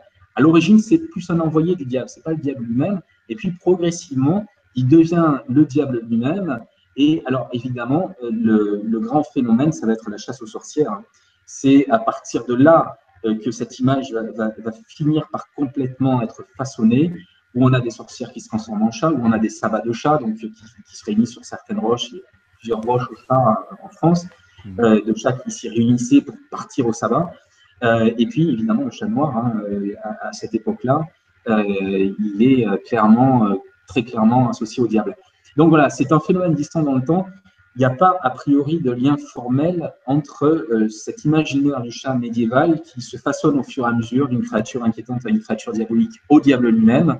Il n'y a pas de lien direct entre ce phénomène et puis euh, la, vision qu'avaient les Égyptiens euh, du chat, du chat extrêmement, extrêmement positive. Pour la petite anecdote, euh, euh, au Moyen Âge, on détestait tous les chats. La peur des chats noirs, ça, ça vient d'une légende plus, récente qui part de Napoléon, parce qu'on dit qu'un chat noir serait passé devant Napoléon avant la bataille de Waterloo. Du coup, les chats noirs portent malheur en France et bonheur en Angleterre. C'est assez intriguant pour la petite anecdote. Alors, question suivante. Euh, une faction minoritaire de Templiers aurait-elle réellement basculé dans des cultes sataniques, ce qui aurait contribué à salir l'ordre et justifier leur arrestation? Donc, Peut-on parler d'ordre satanique déjà dans, dans les Templiers? Non, enfin, moi, personnellement, je ne souscris pas, j'y crois pas un seul Non j'adhère pas euh, à ça. Mais... Il, y a, il y a un phénomène qui est, qui est très clair, c'est que euh, à cette époque-là, mais encore de nos jours, euh, quand, et puis c'était déjà le cas à l'époque romaine, hein, c'est-à-dire que de tout temps, quand on veut faire tomber quelqu'un avec qui on n'est pas d'accord dogmatiquement, eh bien, on va chercher à le salir.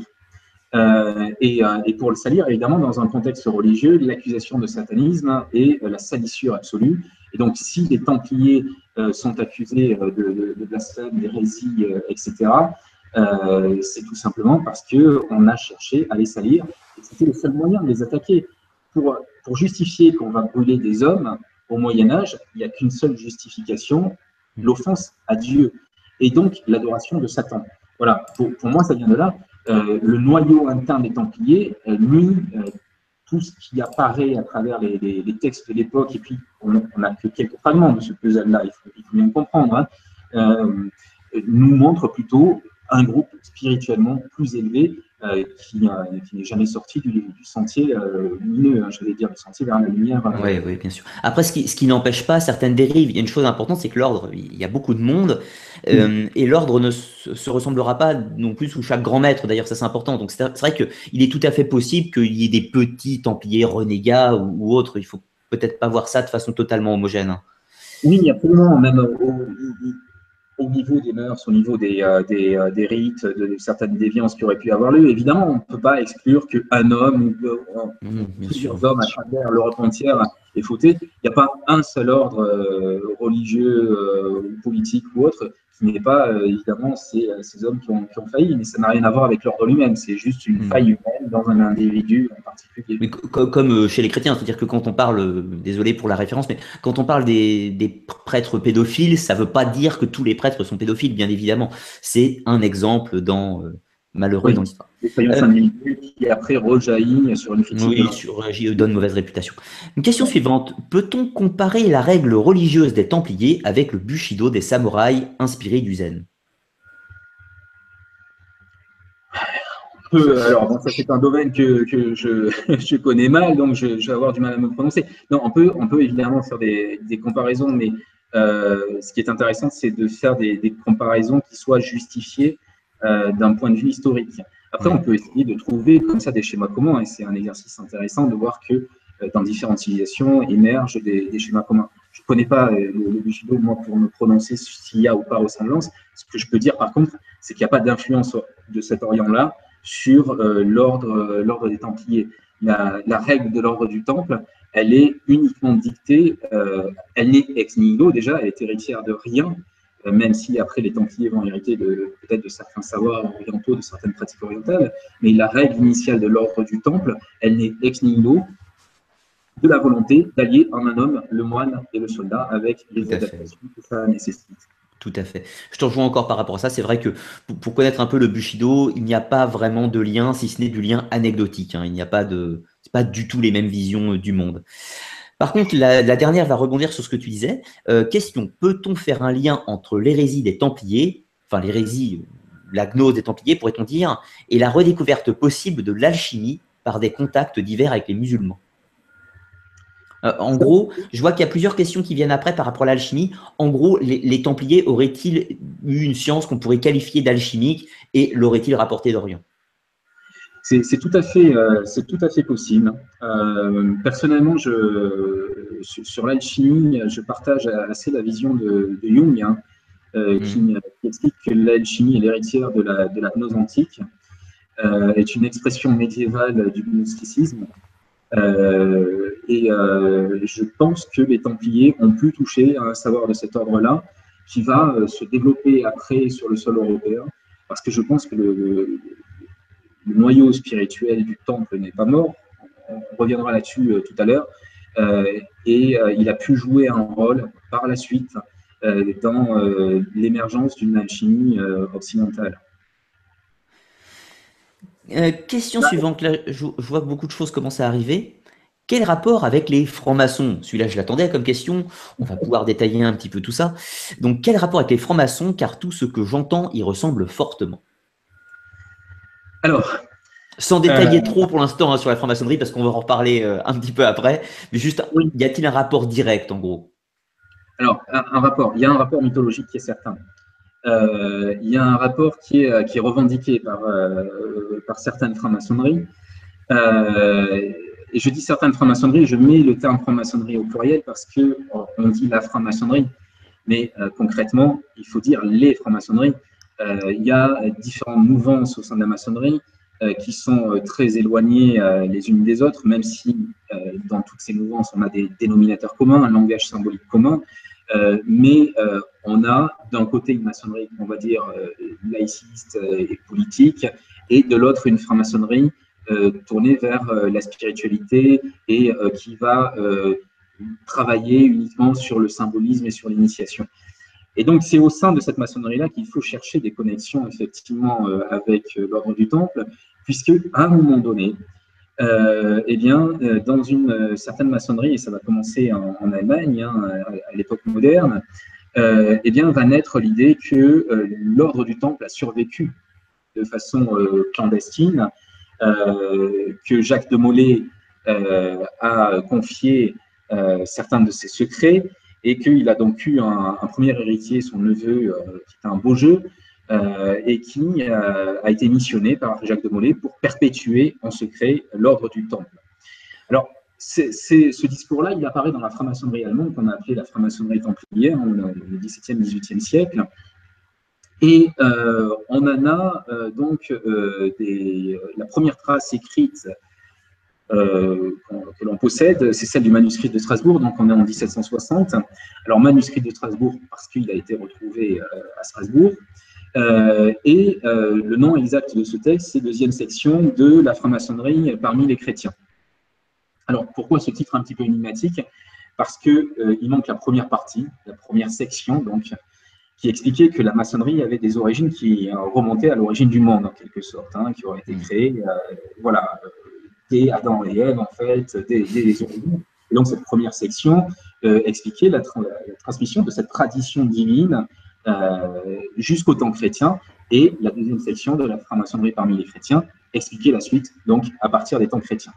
Et là, il était question des Esséniens et il était question des Templiers. il était question donc aussi de cette constitution sur ordre de Jacques de Molay avant sa mort d'une franc-maçonnerie, enfin d'un ordre du temple occulte qui allait devenir la franc-maçonnerie. Alors, comment ça se passe? Jacques de Molay demande à son neveu donc de descendre dans la crypte où reposent les, grands maîtres de l'ordre du Temple. Il va devoir sous une tombe chercher euh, un objet, un reliquaire en cristal, il va le ramener euh, à Jacques de Molay, et Jacques de Molay, à partir du moment où il voit que son neveu a accompli cette première mission initiatique, eh il va lui demander de retourner euh, dans cette crypte en lui donnant de nouvelles instructions. Donc, il va devoir retrouver une autre cache. Jacques de Molay lui a donné trois clés à ce moment-là, et grâce à ces clés, il va ouvrir cette seconde cache dans laquelle se trouvent des livres, des livres qui contiennent tout le savoir occulte des Templiers. Euh, de Beaujeu va revenir voir euh, donc euh, Jacques de Molay, et Jacques de Molay, à partir de là, va le missionner en lui disant qu'il va devoir créer un ordre qui prendra une autre forme que celle de l'ordre du Temple, qui prendra une autre structure, un, autre langage pour ne pas être reconnu, mais qui devra, qui devra pardon, le perpétuer à, à travers les siècles. Une éventuelle survivance en fait du petit groupe qui se trouvait peut-être dans l'ordre euh, avant en fait. Continuer le cœur de l'ordre et pas l'ordre militaire, on va dire. Ce qui est très intéressant, c'est que on a dans ces, textes-là, qui sont des textes donc francs-maçons, mais je vais revenir sur la, deuxième section sur le manuscrit de Strasbourg, on a euh, l'idée euh, qu'il a existé un savoir spirituel secret au sein de l'ordre du Temple et qu'un petit groupe a été chargé de le perpétuer à travers les siècles. Alors, je dis, je, vais revenir sur le, manuscrit de Strasbourg. Pourquoi? Parce que ce texte-là, euh, par sa structure linguistique, il nous apprend deux choses. Un, qu'il est d'origine allemande, il y a certains, éléments de langage qui le traduisent très clairement. Et deux, qu'il est d'origine rose-croix la pensée qui s'exprime est rose-croix. Et effectivement, quand on regarde la genèse de cette maçonnerie templière allemande, on voit que euh, c'est alors c'est des personnes comme le baron von Hahn, le pasteur Rosa, ou encore un certain Johnson qui vont organiser ces rites templiers allemands. Euh, on voit que ça émane d'ordre rosicrucien. On a alors l'interprétation évidemment, euh, on va dire concurrentielle entre Rose-Croix et franc-maçon. Pour certains historiens, c'est la Rose-Croix qui essaie d'avoir la main mise sur la franc-maçonnerie. Et pour avoir la main mise sur la franc-maçonnerie, elle aurait trouvé cet objet l'héritage secret de l'ordre du Temple. Pourquoi? Parce que ces personnes comme Johnson, par exemple, vont se présenter dans des loges maçonniques allemandes en disant qu'ils sont des supérieurs inconnus envoyés par cette survivance de l'ordre du Temple, qu'ils ont hérité donc du secret des Templiers, de secrets Templiers, notamment secrets liés à des dépôts trésoraires. Et donc, ils auraient connaissance de plusieurs dépôts qui auraient été faits en Europe, mais aussi en Orient, par euh, les Templiers. Et euh, ce qui est tout à fait fascinant, un de ces trésors, par exemple, se trouverait à Jérusalem, il y aurait un, dépôt concernant le savoir spirituel euh, des, Templiers. Il y en aurait un autre dans les montagnes du Harz, en, Allemagne, en Bavière. Alors, c'est vrai que quand on parle de trésors, c'est important de préciser qu'on ne parle pas forcément d'or, on parle aussi de trésors spirituels, de livres, de connaissances euh, ou autres. Ah, Là, il y a vraiment cette double nature du trésor hein, dans, ces discours-là qui vont euh, essaimer dans la franc-maçonnerie euh, templière allemande. C'est à la fois des trésors matériels, donc avec la promesse d'une certaine richesse, pour restaurer, pour restaurer l'ordre du temple. Hein, il, y a, cette vocation-là des trésors templiers, c'est-à-dire qu'ils seraient destinés à être retrouvés à un moment donné pour ressusciter euh, de ses cendres l'ordre du temple. Et puis, il y a la notion de dépôt sacré spirituel avec un savoir occulte, notamment un savoir alchimique. Et c'est là qu'on rejoint la question de, tout à l'heure. Alors, euh, pourquoi on a dit qu'il y avait une tentative de mainmise des rose sur les francs-maçons? Parce que ces gens-là qui vont se présenter en, loge maçonnique, à l'époque, ils vont monnayer évidemment leur initiation. C'est là qu'on assiste à la création de hauts grades, de grades templiers. Donc, la maçonnerie, hein, très rapidement, à la base, c'est euh, trois grades, hein, apprenti, compagnon et maître. Et à un moment donné, vont émerger ce qu'on appelle les hauts grades, donc des grades initiatiques, montés jusqu'à 33. Et euh, à chaque grade correspond la révélation de certains secrets. Dans la franc-maçonnerie templière, la promesse, c'est qu'arrivé à un certain moment, on a la révélation de la connaissance de ces dépôts euh, templiers qui ont été faits. Voilà. Donc, le lien, là, euh, alors, on a des textes de cette époque, on n'a rien qui nous prouve d'un point de vue historique que c'est vrai. C'est-à-dire mm. qu'on est évidemment, pour certains, dans une construction purement, purement mythologique, mais on a quand même, à mon sens, un certain nombre d'indices euh, qui laissent penser qu'il y a bien quelque chose qui a survécu à l'ordre du temple et qui a pu, à un moment donné, euh, trouver à s'infiltrer peut-être dans une forme déjà existante de franc-maçonnerie si hmm. ce n'est pas à l'origine de la franc-maçonnerie. Tout à fait, oui. je, te, rejoins sur ce point. Je ne pense pas, à, titre personnel, que la franc-maçonnerie soit une héritière du, du, temple. Néanmoins, que certains héritiers du temple aient pu rejoindre la franc-maçonnerie serait cohérent. Ça m'amène sur euh, la question suivante. Des gens des questions qui peuvent nous mener sur une émission entière. Euh, le lien entre les Templiers et le Graal ne tient-il pas du pur roman, comme l'existence du Graal lui-même? Juste pour spécifier un petit peu, euh, je pense que cette question de Gargamel pourrait hum, répondre aussi au fait que dans, un des romans du Graal, Parsifal de Wolfram von Eschenbach, l'auteur fait, fait des chevaliers du Temple les gardiens du Saint Graal. Peut-on parler d'un lien entre le mythe du Graal et les Templiers?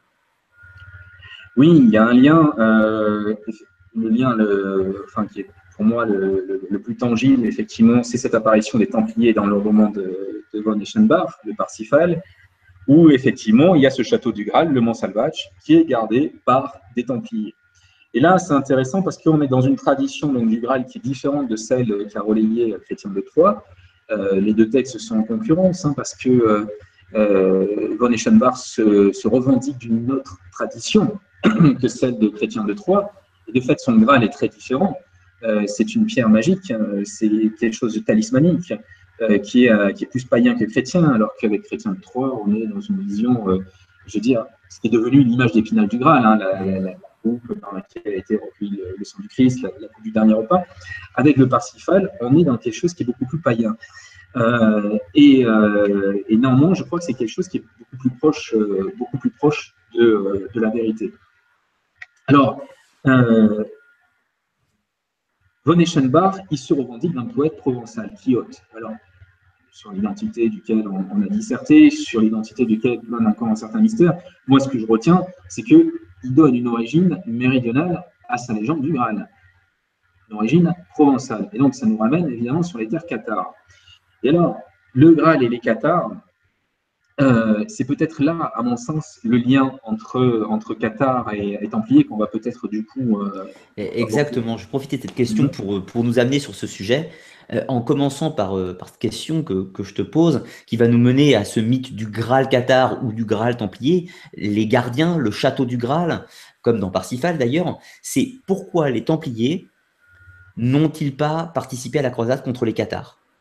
Et y a-t-il quel est le lien qui pourrait rapprocher ces deux, groupes, pourrait-on dire, ensemble?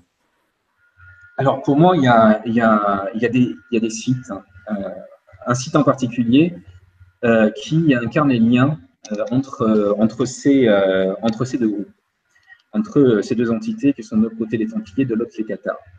il faut savoir qu'un certain nombre de Cathares se sont, réfugiés sur les terres catalanes, hein, dans les Pyrénées-Orientales notamment, où se sont aussi euh, réfugiés euh, des Templiers. Mais euh, avant la chute du Temple, donc, il y a sur ces terres catalanes, pas très loin de, Perpignan, pas très loin du massif du Canigou, une commanderie en particulier qui est très intéressante, c'est la commanderie du Mas des Alors aujourd'hui, malheureusement, il n'en reste quasiment rien. on a une chapelle enfin, qui a été transformée en grange, hein, mais qui est encore d'époque templière. c'est sur une propriété privée, donc on ne peut pas s'y rendre, je, enfin, je le précise là. Pour ceux tu fais bien. Euh, c'est un site qui est fascinant parce que euh, il y a tout un ensemble, tout un immense domaine qui avait été construit autour, donc qui est beaucoup plus récent, euh, qui a été dynamité durant la, Seconde Guerre mondiale et qui est aujourd'hui à l'abandon, envahi par la végétation. donc c'est un lieu très particulier, c'est une espèce de domaine perdu, et il y a au milieu de, cet écran un peu fantastique cette vieille chapelle euh, qui est désacralisée depuis très longtemps même. C'est l'histoire de ce lieu qui est, fascinante parce qu'on a des archives euh, sur euh, l'histoire de, de et on que ce lieu a été financé en partie, la construction, par des familles qui étaient liées au Qatar. Donc déjà, on voit qu'il y, a un premier élément, c'est que les Templiers eh bien, ne rechignaient pas à être en lien très fort, y compris financier, euh, avec, euh, avec des Qatars. Donc, euh, ils ne les rejetaient pas pour, pour hérésie. Et puis, on a surtout des, éléments qui sont des, procès donc, intentés par les inquisiteurs qui étaient, et, les évêques de Perpignan qui sont tout à fait fascinants. Pourquoi? Parce que là, on a des personnages comme Ponce de Devernay qui, est un, qui est un Qatar et qui est accueilli par les Templiers du Masdéou. Donc, il est accueilli, Arnaud de, de Mondagon aussi, et ces Qatars, non seulement sont accueillis au sein de la commanderie, mais ils vont y être enterrés. Et ça va, alors que les hérétiques euh, n'avaient pas, évidemment, euh, ils étaient traqués de leur vivant, j'allais dire, ils étaient aussi traqués après leur mort, parce que dans tout l'épisode de terreur que euh, tout à l'heure, euh, il y avait aussi notre opération sordide, c'était aller dans les cimetières, déterrer les morts cathares et, les brûler, ce que certains prêtres catholiques ont refusé d'ailleurs. Et là, à Mazéou, on va avoir un épisode de ce type-là, c'est-à-dire qu'on a un procès post-mortem qui est intenté à Ponzeux de Vernet et Arnaud de Lunagon, euh, un procès où les inquisiteurs vont établir de façon certaine que c'était euh, des, euh, des, hérétiques, des cathares. Les corps vont être déterrés et vont être brûlés. on a donc ce premier élément qui est, qui est très, qui est très intéressant, et on a un autre procès dont les archives là aussi ont été conservées, qui est encore, je dirais, le, stade au-dessus, si je peux me permettre l'expression, c'est Pierre de Fenouillet. Pierre de Fenouillet, c'est un cathare, lui aussi. Mais qu'est-ce que nous disent les procès intentés par les inquisiteurs à l'époque Qu'il a été accueilli par les Templiers du Masdéou et qu'il a été hérétiqué, c'est le terme qui est, euh, qui est employé, hérétiqué, euh, au du Masdéou par des cathares qui sont venus procéder donc au sein de la commanderie templière de Masdéou à un rituel cathare et qui ont fait euh, donc de Pierre de Fenouillet un parfait. Et ça, c'est extraordinaire parce que on a là la preuve écrite que les Templiers ont accueilli des cérémonies cathares au sein même de leur commanderie à Masdéou. Alors, je ne pense pas qu'on euh, puisse mettre ça sur le dos de la simple tolérance euh, euh, des, Templiers. on a vu tout à l'heure qu'en Orient, au contact des musulmans, ils avaient développé évidemment une vision très tolérante qui embrassait la, religion de l'autre et l'admettait. mais je, pense que là, avec ces cathares du Masdéou, on est encore dans un autre registre, parce qu'on accueille un rite hérétique au sein même de son ancêtre religieuse. Et là, on rentre dans un autre registre. Alors, là où je pense euh, que euh, ce n'est pas un cas isolé, parce qu'on pourrait se dire, bon, bah, c'est les Templiers du Masdéou qui. Euh, oui, ça aurait pu être un cas unique, bien évidemment, mais, non. Mais on a d'autres exemples. toujours en Catalogne, alors en Catalogne Sud, hein, c'est-à-dire en, en, Espagne, à Puy-Greg, on a un exemple très similaire. Alors, on n'a pas tous ces procès, euh, tous ces procès d'hérésie. Euh, par contre, euh, Puy-Grey, donc qui est un lieu templier, on a de la même façon des liens avérés entre des familles cathares et les Templiers et les familles cathares qui financent la construction de Puy-Grey. Et un élément intéressant, c'est que Puy-Grey, contrairement à Masdéum, a été, conservé. Euh, qu'on a des fresques euh, au sein de l'église de Puy-Grey qui datent de cette période-là, et que euh, une de ces fresques eh bien, nous montre un motif clairement dualiste, un dragon à deux têtes. Et là, on est. alors, ça, c'est des historiens, c'est pas de l'interprétation ésotérique, hein, c'est des historiens universitaires qui le disent. On est face à un motif clairement dualiste au sein d'une église templière. Les Cathares étaient dualistes, et donc, très clairement, euh, on a là euh, l'idée que les Templiers euh, ont adopté un certain dualisme à un moment donné. Et je vais donner un autre exemple. Donc, au cours de, ce périple que j'ai accompli sur les, sur les traces des Templiers, j'ai notamment visité aussi l'église de Monsonès. Là, on est dans les Hautes-Pyrénées, du côté de, Toulouse, un lieu exceptionnel puisque les, murs sont couverts de fresques. Euh, d'époque euh, templière. Alors, on a une fresque qui est, tout à fait saisissante, c'est très peu, enfin, qui est difficilement lisible parce qu'elle a été altérée. C'est un, jugement des âmes, donc euh, une pesée des âmes avec une figure qui ressemble à Anubis, et véritablement, enfin, c'est pas le fruit de l'imagination. Même si la fresque est très altérée, on voit clairement ce profil d'Anubis, donc divinité égyptienne. Et puis, on a de nouveau euh, ce dragon avec une tête et puis une tête au bout de la queue euh, sur la décoration près d'un près des, des, vitraux de l'église de Monsonès. Et on retrouve donc ce motif dualiste. On retrouve sur d'autres éléments hein, de, la décoration de Monsonès. Donc là, on retrouve le dualisme à nouveau. Alors, on pourra dire, bon, le, dualisme euh, n'est pas, pas l'apanage des, des cathares. il y a une forme de dualisme dans le, le christianisme catholique aussi. Mais non, là, on est sur des symboles qui renvoient clairement à cette dualité gnostique et donc qui nous prouvent que les Templiers, ils ont véhiculé un, christianisme dualiste et donc que le catharisme, leur lien avec les Cathares, il n'était pas uniquement financier, il n'était pas uniquement dû à leur tolérance, il était aussi dû à une affinité euh, spirituelle. D'ailleurs, c'est intéressant, je rebondis sur cette notion du, dualisme, parce que euh, ça peut véhiculer plusieurs choses. Tout d'abord, le dualisme, la notion du bien, du mal, du vrai Dieu, du faux Dieu, mais ça peut aussi représenter une vérité et l'autre vérité. Par exemple, un point sur les Cathares qu'on n'a pas abordé, c'est le fait qu'ils ne prenaient en compte que le Nouveau Testament et pas l'Ancien. Oui. Ça, c'est important. Est-ce que tu peux du coup nous, détailler un petit peu les, origines de, cette, euh, de, cette différent, de ces différents christianismes d'origine euh, entre le, christianisme, de, on va dire, de l'Église de Rome vraiment, et les différentes visions helléniques, judaïques du, christianisme de ses débuts, qui, va nous permettre de mieux comprendre, je pense, euh, l'idée gnostique cathare, par exemple. D'accord.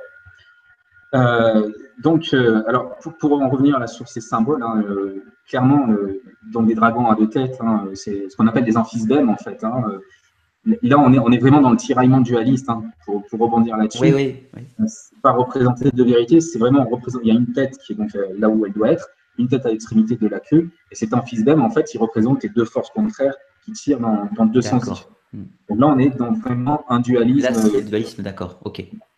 Alors, pour en revenir aux origines, donc, on a bah, après, tu, tu, peux finir sur ce que tu disais aussi. Hein. Je dis ça, tu, tu, le feras quand tu veux. Hein. Oui, n'hésite pas. Hein. Je pense que sur la, sur la, sur la question de ces symboles-là et de l'amphibème, euh, voilà, je, D'accord. Euh, pour euh, la question des origines, donc, on a la belle histoire. la belle histoire, c'est celle qui a raconté l'Église de Rome, donc Jésus, qui est le Fils de Dieu, qui est envoyé sur terre pour trouver les hommes qui va donc délivrer son message, qui va être crucifié et qui, par sa mort, va racheter le péché, euh, le péché originel. Quand on, quand on regarde euh, l'histoire de l'Église, qu'est-ce qu'elle nous a dit? Eh bien que par la suite, à un moment donné, euh, les, donc les disciples ont, créé, l'Église de, Rome, hein. il, y a, Pierre, il y a cette évangélisation du, du monde, et l'Église nous dit qu'à un moment donné, eh bien, le christianisme, certains chrétiens ont rencontré la philosophie grecque, ont rencontré les philosophes grecs, et qu'il y a eu une espèce de contamination par un élément étranger, donc la philosophie, et que euh, de cette alliance-là, euh, non naturelle, hein, en vue de l'Église de Rome, eh bien, c'en est les hérésies. Donc, l'hérésie, pour l'Église, en fait, naît de la contamination d'un élément pur, le christianisme, par un élément étranger, impur, qui vient se greffer sur lui et l'influencer dans une mauvaise direction. Alors, je reviens déjà sur ce terme d'hérésie, parce que je pense que c'est important de, dire ce qu'il veut dire, hein, en fait. Hein. Euh, hérésie, en grec, c'est le choix. Euh, donc, être hérétique, à la base, c'est faire un choix. Euh, c'est pas un choix qui est un, mauvais choix, non, c'est faire un choix. C'est dans les hérétique est devenu un mot péjoratif moderne. C'est comme barbare, par exemple. C'est des mots qui ont été diabolisés plus modernes. C'est ça, parce que pour l'Église, c'est devenu synonyme de faire le mauvais choix. Donc, à partir de là, la connotation est devenue extrêmement négative. Alors, pour en revenir donc à la véritable histoire du christianisme, puisqu'il faut en arriver là, euh, les choses, aujourd'hui, on le sait, ne sont pas si simples que ça. Parce que la division entre les chrétiens, elle n'a pas attendu pour exister. Elle est présente dès euh, la disparition euh, du Christ. C'est-à-dire que chacun mettra sur cette disparition du Christ la, définition euh, qu'il voudra. À un moment donné, il y a un homme, le Christ, qui délivre son enseignement, et puis cet homme se retire. Alors, il est mort, il est parti ailleurs, euh, il est monté au ciel, chacun euh, adoptera la croyance qu'il veut. Quoi qu'il en soit, à un moment donné, il laisse ses disciples seuls. Et on remarque que dès le moment où les disciples sont seuls, eh bien, il y a des divisions qui vont advenir. Ces divisions, euh, on va le voir dans les textes gnostiques, elles sont très prononcées. Mais il n'y a pas à aller chercher des textes hérétiques pour les, déceler. Quand on prend le, Nouveau Testament, euh, quand on regarde les actes des apôtres, c'est-à-dire ce texte qui va suivre les quatre évangiles, donc les évangiles racontent la vie de Jésus, et dans le Nouveau Testament, immédiatement après, on a les actes des apôtres, on a les épîtres, on a les lettres, et donc tout ça raconte par contre ce qui s'est passé après après Jésus, et donc la création des premières communautés chrétiennes. Or, on a là, dans les actes, eh bien, la description d'une scission nette entre deux groupes de chrétiens. On a les chrétiens qui sont appelés les Hébreux, et on a les chrétiens qui sont appelés les hellénistes. Ça, c'est dans le Nouveau Testament. Donc, un texte qui est reconnu par l'Église. Et on, comprend, quand on le lit aujourd'hui, pourquoi longtemps l'Église a refusé la traduction en langue vulgaire. C'est-à-dire que c'est un texte qui est en latin, la, langue des religieux, mais pas de la, population. Donc, et un texte qui était donc incompréhensible dans son ensemble par la population, qui n'en connaissait que ce qu'on voulait bien lire. Et euh, je, rajouterai aussi que euh, sur certaines régions, euh, à certaines périodes, posséder la Bible était interdit aux, croyants. Il fallait une autorisation de l'évêque pour la posséder. Donc ça veut bien dire qu'il y avait quand même un potentiel un petit peu dangereux dans, dans ce texte-là. J'ai l'impression de visiter le film Le nom, le nom de la rose avec, avec le fameux livre caché un petit peu.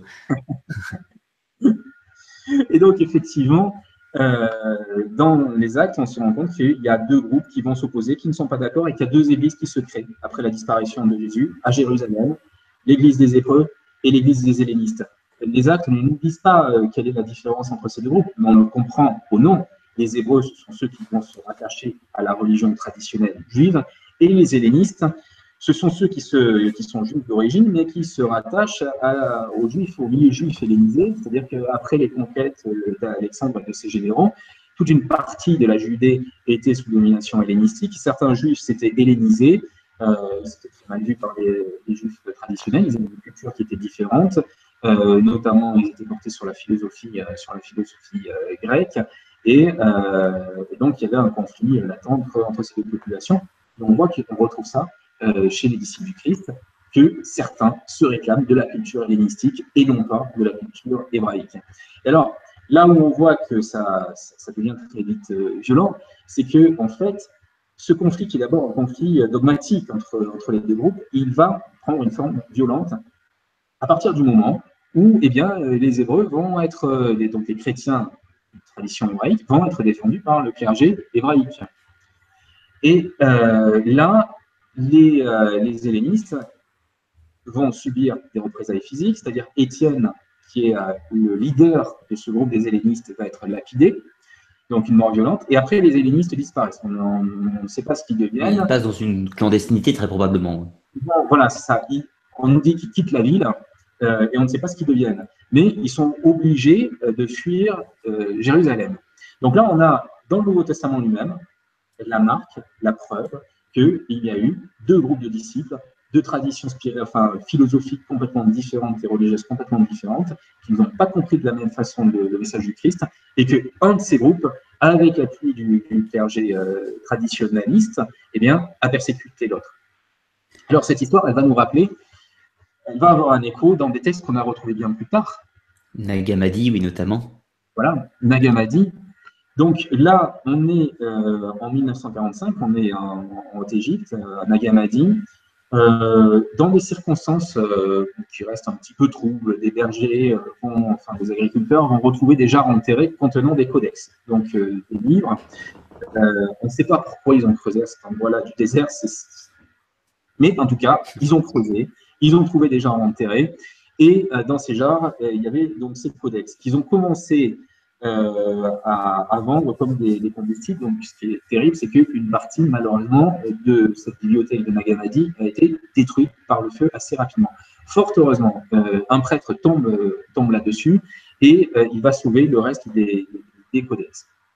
Alors, on avait eu d'autres découvertes, un écrit comme ça, cachés dans le désert égyptien ou dans des tombes de moines en Égypte.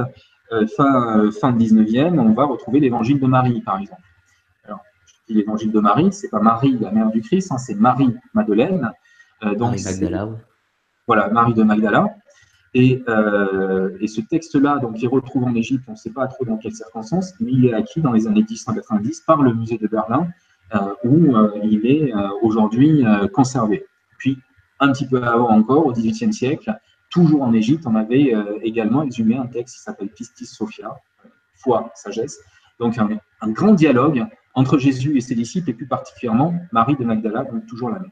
Alors, tous ces textes gnostiques, euh, qu'est-ce qu'ils ont en commun? Eh ils, ont en commun de raconter une autre histoire. que l'histoire officielle.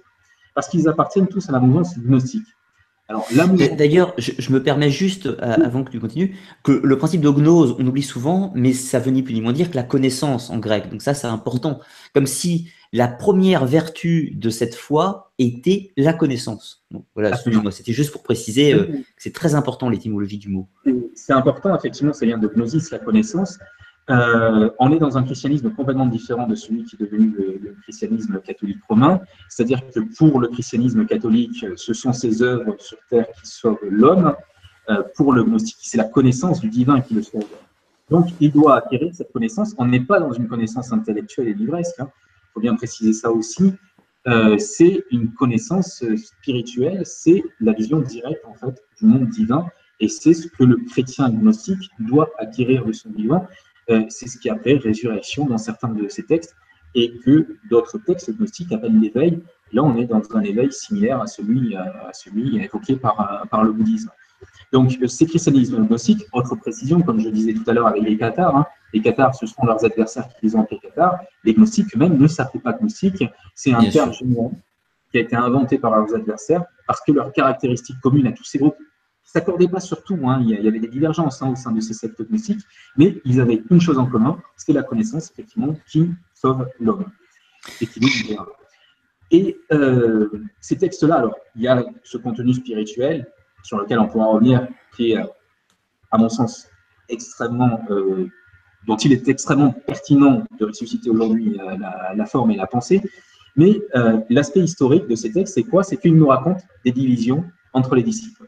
Si je prends l'évangile de Marie, donc euh, Marie euh, de Magdala, eh bien, on a euh, donc au début de ce texte une, réunion des, disciples après que Jésus donc soit ressuscité et leur a dit qu'il devait, évangéliser le monde.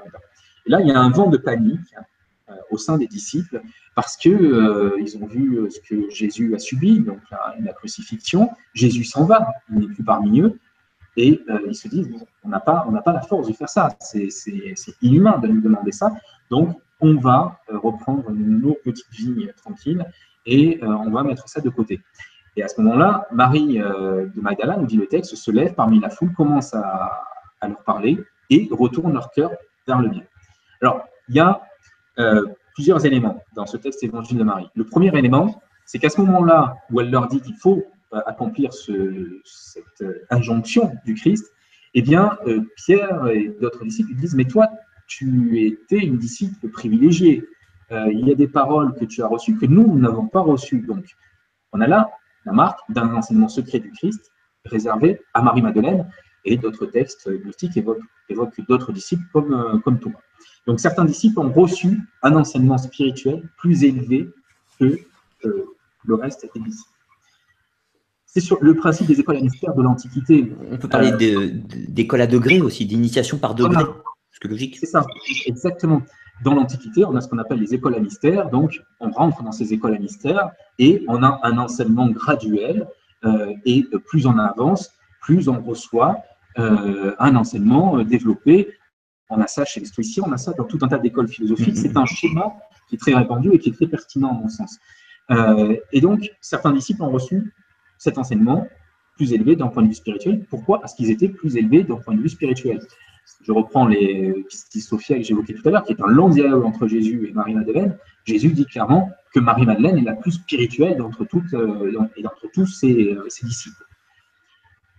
Mais alors, qu'est-ce que ça va générer, ce, cette gradation dans le mystère, dans, l'initiation? Eh bien, ça va générer que quand Jésus s'en va, euh, certains disciples ne vont pas reconnaître chez les autres leur, l'enseignement reçu.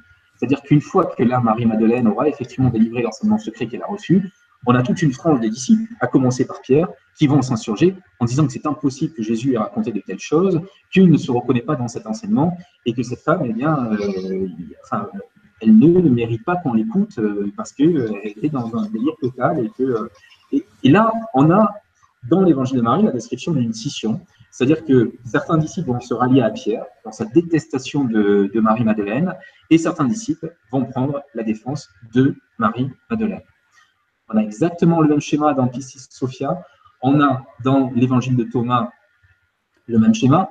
C'est-à-dire qu'on a aussi une phrase qui évoque le fait que Pierre détestait Marie-Madeleine, et on va retrouver ce schéma-là constamment. Donc, qu'est-ce que ça nous apprend?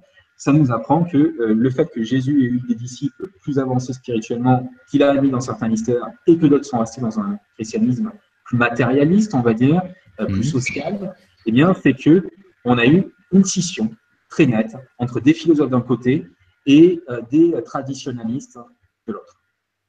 Alors, parce que je termine juste avec ça et, après je, prendrai la remarque ou la question. Euh, Marie-Madeleine, ce, qui est, ce qui est intéressant, c'est que sa posture de femme dans l'évangile euh, ne correspond pas à la posture traditionnelle de la femme juive. on a un épisode problématique qui est l'épisode de la meilleure part où on la voit seule assise au pied du Christ qui l'enseigne, euh, là, tous les historiens sont d'accord. Du point de vue de la tradition juive, cette scène est absolument impensable. Par contre, si on se dit qu'on est dans un contexte helléniste, là, hmm. ça fonctionne. Et euh, autre élément, Magdala, donc le, nom antique, c'est Ariké. Euh, donc la ville d'où est originaire Marie-Madeleine, c'est une ville dont on a des traces archéologiques suffisamment importantes aujourd'hui pour dire que c'est une ville qui est très cosmopolite, qui est marquée par la culture hellénistique. Donc Marie-Madeleine, à mon sens, elle fait partie de ces juifs hellénisés. Et on a dans les traditions du Moyen Âge qui l'entourent, alors là on rentre sur un autre débat, je ne vais pas m'étendre, mais ce qui est intéressant, c'est que des textes du Moyen Âge euh, qui se rattachent à des traditions antiques, même si on ne peut pas faire une filiation littéraire euh, certaine, nous disent que euh, la, mère de Marie-Madeleine s'appelle Eucharie, ce qui veut dire la gracieuse, la, très belle en grec, et que son père s'appelle Théophile, donc l'ami de Dieu. Ça, c'est des textes du Moyen Âge qui donnent des prénoms grecs aux parents de, de Marie-Madeleine.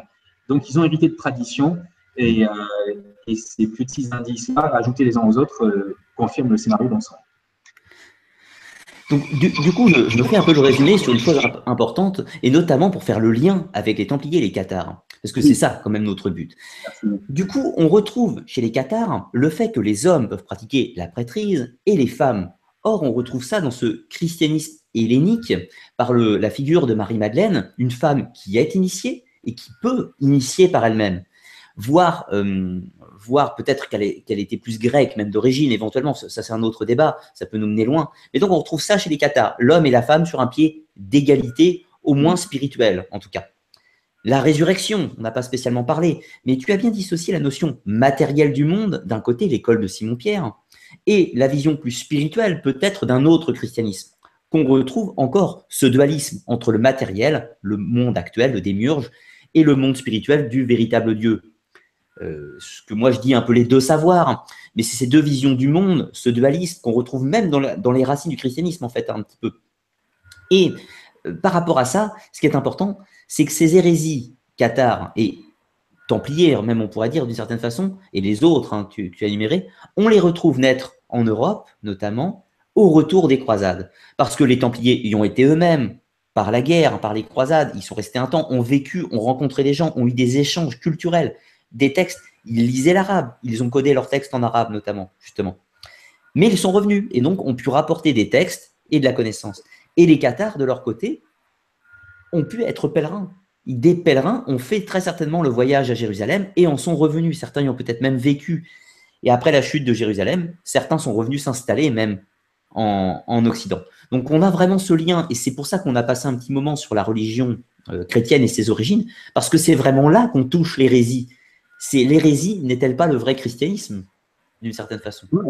Ah oui, moi je, pense que l'hérésie est le vrai christianisme. Le vrai christianisme, c'est ce christianisme gnostique euh, tourné vers la révélation intérieure euh, du divin. Alors, euh, quelques précisions sur, sur, les, sur les cathares. Bon, j'ai évoqué ce printemps des hérésies, donc le, le, fait qu'autour de l'an 1000, il y a des hérésies comme ça qui fleurissent à travers l'Europe. On veut donner une origine à, ces hérésies, forcément. On se dit, elles ne naissent pas de nulle part, donc d'où est-ce qu'elles viennent, d'où est-ce que vient le, le catharisme? L'histoire académique, universitaire, euh, donne pour origine au catharisme la euh, prédication du, bogomilisme. Donc, euh, c'est des adeptes de Bogomil, un hérétique donc, qui vivait en Europe de l'Est, qui va reprendre un dualisme qui rappelle celui de Mani, donc qui vivait au IIIe siècle, Et euh, donc, indirectement, on fait dériver le catharisme du manichéisme et du bogomilisme. L'histoire officielle explique, voilà, par ce biais-là, l'émergence du catharisme. Moi, je pense qu'il n'y a pas à aller chercher euh, une origine euh, du catharisme dans le bogomilisme en Europe de l'Est, mais que le cœur, c'est vraiment le premier christianisme et que les cathares n'ont pas eu à aller à Jérusalem pour le rencontrer, ce premier christianisme. Alors pourquoi? Parce qu'il y a ce personnage central de Marie-Madeleine, c'est pour ça aussi que j'insiste un peu, parce qu'elle est, le cœur de, cette grande énigme.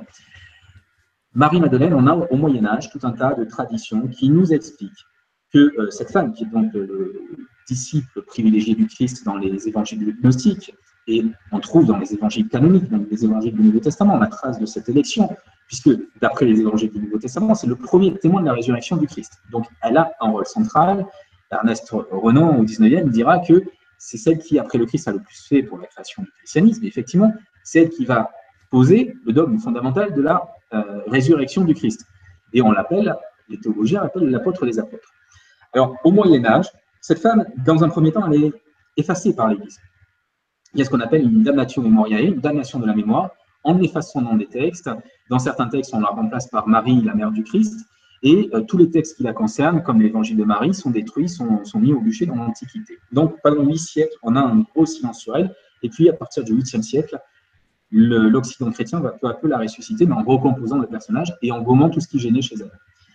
Et puis, on a l'émergence au sein du Moyen Âge euh, du légendaire provençal de Marie-Madeleine. C'est-à-dire que plusieurs auteurs euh, commencent à, dire que Marie-Madeleine a fini ses jours dans le sud de la France, euh, que donc après euh, l'épisode de la, crucifixion, de la mort du Christ, elle a été euh, embarquée à travers la Méditerranée et qu'elle est arrivée à Marseille, au Sainte-Marie de la Mer, enfin, sur la, la, côte méridionale de la France, et que là, elle a enseigné le christianisme, qu'elle a converti les Provençaux, et qu'elle a fini ses jours ermite dans une grotte. Je passe sur les détails parce que c'est pas. C'est très long. Ce soir et ça serait très long. Mais pour pour les, pour les universitaires, c'est une belle histoire qui a été inventée au Moyen Âge pour promouvoir le culte des reliques. Sauf que cette belle histoire, elle contient des éléments hérétiques. Et le premier d'entre eux, c'est euh, la place de la femme. Marie-Madeleine, quand elle arrive, elle prédique cette image de la femme-là, elle est complètement contraire euh, à l'image de la femme catholique. C'est très clair, premier épître aux Corinthiens, la femme n'a pas le droit de parler dans les assemblées, même si elle est dans, le public, elle ne peut pas lever la main pour poser une question, donc encore moins enseigner. La femme est condamnée à se taire, à part chez elle. Ça, c'est la vision euh, catholique romaine de la femme dans la religion. Les gnostiques, comme on l'a évoqué, mettaient euh, les, femmes et les hommes sur un pied d'égalité, ce qui explique que Marie-Madeleine a pu hériter de tout ce savoir spirituel. Et pour moi, la légende provençale, elle a une origine ancienne, gnostique. Elle remonte au premier temps du christianisme. Et c'est là qu'on a donc quand on regarde, je, suis penché sur tous les conciles gaulois en fait des premiers siècles, on voit que depuis l'Antiquité, il y a sur le sol gaulois euh, des euh, hérésies gnostiques de façon régulière qui émergent, qui sont étouffées, qui réémergent, qui sont étouffées, jusqu'à la grande éclosion de l'an 1000, où là, pour différentes raisons, et notamment la société occitane, ces hérésies vont pouvoir souffler, respirer, se développer, se structurer. Mais elles sont là, présentes depuis les origines du christianisme et je dirais même qu'elles sont arrivées euh, sur le sol gaulois bien avant le christianisme catholique romain, qui est arrivé après et qui les a combattus. On a des exemples de ça à Lyon. Et si on prend en Égypte aussi l'exemple d'Alexandrie, on sait que le premier christianisme alexandrin était hérétique, qu'on n'en a pas des traces archéologiques. Pourquoi? Parce que quand les, catholiques, entre guillemets, hein, sont arrivés après, ils ont effacé toute trace de ce premier christianisme. Et c'est là qu'on revient au Qatar. Pourquoi? Parce, que si, je suis un peu ton raisonnement, en fait, les Templiers et les Cathares, du moins leur hérésie, seraient une grande manifestation de, de, cette gnose ou de ce savoir ancien qu'il a été matérialisé, d'autres fois à plus petite échelle, mais là, c'était en grande pompe, on pourrait dire. C'est ça, c'est-à-dire que les Cathares vont retrouver dans. Pour moi, le fond commun des deux, c'est la gnose chrétienne euh, première. Les Templiers l'ont rencontré en Orient, notamment dans les traditions musulmanes et dans leur dialogue avec certains musulmans et certaines traditions musulmanes, ils ont retrouvé ces fragments de gnose qui ont changé leur vision du christianisme. Ils ont peut-être aussi retrouvé d'autres textes anciens sur place qui remontaient à ce premier christianisme. Hein. Et puis, euh, les Cathares, eux, ils sont l'héritier de ces gnostiques qui est arrivé jusque sur le sol gaulois, qui ont survécu de façon clandestine. Alors, deux éléments là-dessus. Hein. Euh, le premier élément pour moi fondateur, c'est Marie-Madeleine. C'est que on a, alors, les textes cathares, il faut le dire, ont été brûlés par l'Église. L'Église les a accusés de fabriquer de faux évangiles, mais l'Église a détruit, ou du moins prélevé ces textes, ce qui fait qu'on ne les a pas aujourd'hui. Mais autant que possible. voilà. On, a, euh, on a quand même un élément intéressant, c'est le récit euh, de la croisade contre les Albigeois que fait Pierre Dévaux de Cernay. Pierre Dévaux de Cernay, c'est un moine, un moine qui est chargé de suivre la croisade et d'en faire le récit au jour le jour. Et à l'occasion du sac de Béziers, que j'ai évoqué tout à l'heure, donc c'est ce fameux grand massacre 22 juillet 1209, quand les croisés arrivent devant Béziers, ils massacrent toute la population. Pierre Dévaux de Cernay, il a, une phrase qui est très significative ce jour-là. Il dit c'est bien fait, c'est la justice divine que Béziers et les hérétiques tombent ce jour-là. On est le 22 juillet. Le 22 juillet, c'est le jour de la Sainte Marie-Madeleine, hmm. De la Sainte Marie de Magdala. Et c'est justice divine. Pourquoi que Béziers et les hérétiques tombent ce jour-là? Parce que les hérétiques ont blasphémé contre Marie-Madeleine. Ils ont affirmé, alors Pierre Desvaux de Cernay, malheureusement, ne donne pas trop de précision, mais ils ont eu des affirmations blasphématoires contre elle, en disant notamment qu'elle était la concubine du Christ. Donc là, c'est très intéressant parce qu'on voit que les Cathares avaient des affirmations très particulières concernant Marie-Madeleine, qu'ils affirmaient qu'elle était la concubine du Christ. Alors évidemment, si on est dans une optique d'Avachikos, on va se dire, ça y est, il y a la preuve que euh, c'était bien le mari et la femme. Mais dans une optique gnostique, il faut savoir que les gnostiques appelaient euh, Marie-Madeleine la concubine du Christ ou l'épouse du Christ, euh, tout simplement parce qu'elle était son égale spirituelle. Il y, a, cette notion d'équilibre entre le masculin et le féminin dans, dans, la gnose. Il y a cette notion de fratrie spirituelle. Euh, et donc, euh, l'amant et l'amante, là, dans ce vocabulaire-là, c'est comme le jumeau Thomas qui est appelé le jumeau du Christ. Il ne faut pas prendre ça nécessairement d'un point de vue génétique, mais dans les textes gnostiques d'un point de vue spirituel. C'est-à-dire que Thomas est l'équivalent spirituel du Christ parce qu'il a atteint son niveau d'enseignement et d'éveil spirituel, comme Marie-Madeleine est la concubine du Christ parce qu'elle a atteint son degré d'éveil spirituel. Ça, c'est très net dans l'évangile de Philippe. Donc les Cathares avaient hérité de cette vision-là de Marie-Madeleine. Euh, ça veut dire qu'ils étaient l'héritier de traditions gnostiques anciennes qu'on a retrouvées, nous, qu'à partir du XVIIIe siècle et surtout au XXe siècle. Et autre élément qui va dans ce sens, et là, c'est absolument imparable, on n'est pas du tout dans l'interprétation, euh, les inquisiteurs, Pierre Dévaux de Sarne et d'autres chroniqueurs euh, accusent les cathares, comme je l'ai dit, de fabriquer de faux évangiles. Et à certaines occasions, ils vont dire la preuve que les cathares fabriquent de faux évangiles, voilà ce qu'on lit dans leur texte. Et ils vont donner des citations, de très très courtes citations. Et une de ces citations euh, qui est donnée dans ce contexte est intéressante. Pourquoi? Parce qu'on ne l'avait pas identifié jusqu'au XXe siècle, jusqu'à la découverte de Nag Hammadi en 1945. Là, on s'est rendu compte que c'était un passage de l'évangile de Thomas, un texte qui avait été perdu, qui avait été perdu depuis des siècles et qui n'a été retrouvé qu'au XXe siècle. Et donc, on a la preuve. Et là, c'est euh, Henri Charles donc c'est un, universitaire qui, écrit ça. Donc, j'insiste là-dessus pour dire que ce n'est pas un discours d'ésotériste ou de, farfelu. On est vraiment dans une étude rigoureuse. Euh, ça veut dire que d'un point de vue universitaire, on admet aujourd'hui que les Cathares possédaient des évangiles qui remontaient au premier siècle de l'ère chrétienne, puisque l'évangile de Thomas, qui est un texte composite, certains de ces fragments euh, sont contemporains, voire plus anciens que euh, les évangiles euh, du, du, Nouveau Testament. Et c'est un texte qui a disparu depuis l'Antiquité. Voilà. Donc les Cathares ont bien hérité de quelque chose. Et c'est le point commun entre Cathares et Templiers, c'est-à-dire que pour moi, le point commun, c'est la gnose. Les Templiers la redécouvrent en Orient. Les, les, Cathares en sont les héritiers directs sur le sol gaulois. Et quand les deux se rencontrent, eh bien, ces Templiers plus élevés qui appartiennent à ce cercle spirituel interne à l'autre, ils vont reconnaître dans le catharisme quelque chose qui leur parle parce que c'est la même hypnose. Et à partir de là, il va y avoir ces liens qui vont se tisser.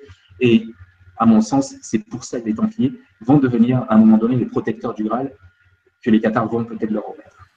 Oui, je te, rejoins dans ton raisonnement sur le plan que quand on parle du Graal, on peut faire référence à la connaissance et pas forcément à une vague coupe euh, qui peut contenir quelque chose. Euh, que, les, euh, je te rejoins sur le plan aussi que les Cathares, les Templiers ont dû posséder des écrits de ces dites hérésies, que ce soit récupérés en Orient ou sur le territoire. Mais ce qui est important aussi, c'est qu'on a des, des faits de ce, ce légendaire du trésor. On parle beaucoup du trésor des Templiers, On parle beaucoup du secret des cathares, pour pas dire trésor. Et on a, on a des éléments qui nous poussent que quelque chose a été préservé, que ce soit pour les Templiers ou que ce soit pour les cathares, euh, notamment les hommes qui se sont échappés de Montségur avant la fin, avant le, avant le grand bûcher qui mettra fin à la croisade. Et puis, on a ces, légendes des fameuses calèches euh, des Templiers qui seraient partis de Paris, l'énigme de Gisors, les Nords de Rechâteau qui rebondissent avec ces, ces trésors. Je te propose qu'on puisse finir sur cette partie après, pour notre dernière heure, juste après que j'ai pris quelques petites questions, si cela te convient. Ça marche. Alors, je remonte un peu. N'hésitez pas à poser vos questions, hein, euh, toujours en marquant question la poser, que je puisse la retrouver. Je prends quelques anciennes. Et puis ensuite, je regarderai les dernières. Alors, Marie-Madeleine et quelques autres sont arrivés par bateau au Sainte-Marie de la Mer en France. Les Cathares pourraient-ils en être les disciples? On l'a tout à fait, enfin, tu l'as tout à fait exposé juste avant. Euh, tu avais précisé d'ailleurs que Narbonne était un des plus grands ports au temps, de la Rome antique, ce qui va tout à fait dans ce sens, par exemple. Euh, les Saintes Marie de la Mer ne sont pas forcément la seule destination possible. Voilà, l'idée là aussi, c'est qu'en fait, euh, on n'a pas le temps d'entrer dans les détails, mais euh, tout laisse penser, quand on fait la contre-enquête historique hein, sur cette traversée d'Orient en Occident, euh, que Marie-Madeleine est arrivée euh, à Narbonne et pas, à Marseille, que le légendaire a été déplacé. Là, c'est un, élément, c'est un élément intéressant aussi, parce que quand on regarde, on a en Provence le souvenir que Marie-Madeleine est passée à un moment donné, que ça tombe, et quelque part.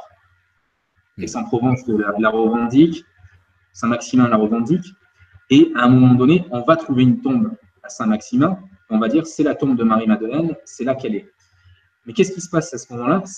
C'est que c'est les dominicains qui orchestrent cette découverte et qui orchestrent le culte. Qu'il y a des bénédictins qui sont installés, puisque la Sainte-Baume, en fait, la grotte où s'est retirée Marie-Madeleine, d'après les légendes provençales, est occupée par des ermites depuis longtemps, puis par des moines il y a des bénédictins qui sont bien implantés dans cette région. Les dominicains arrivent, les chassent de façon violente, hein, et ils les mettent dehors. il y a un procès, puisque les, bénédictins ne veulent pas euh, être chassés de cette façon-là. C'est porté jusqu'à Rome, et le pape prend la défense des dominicains.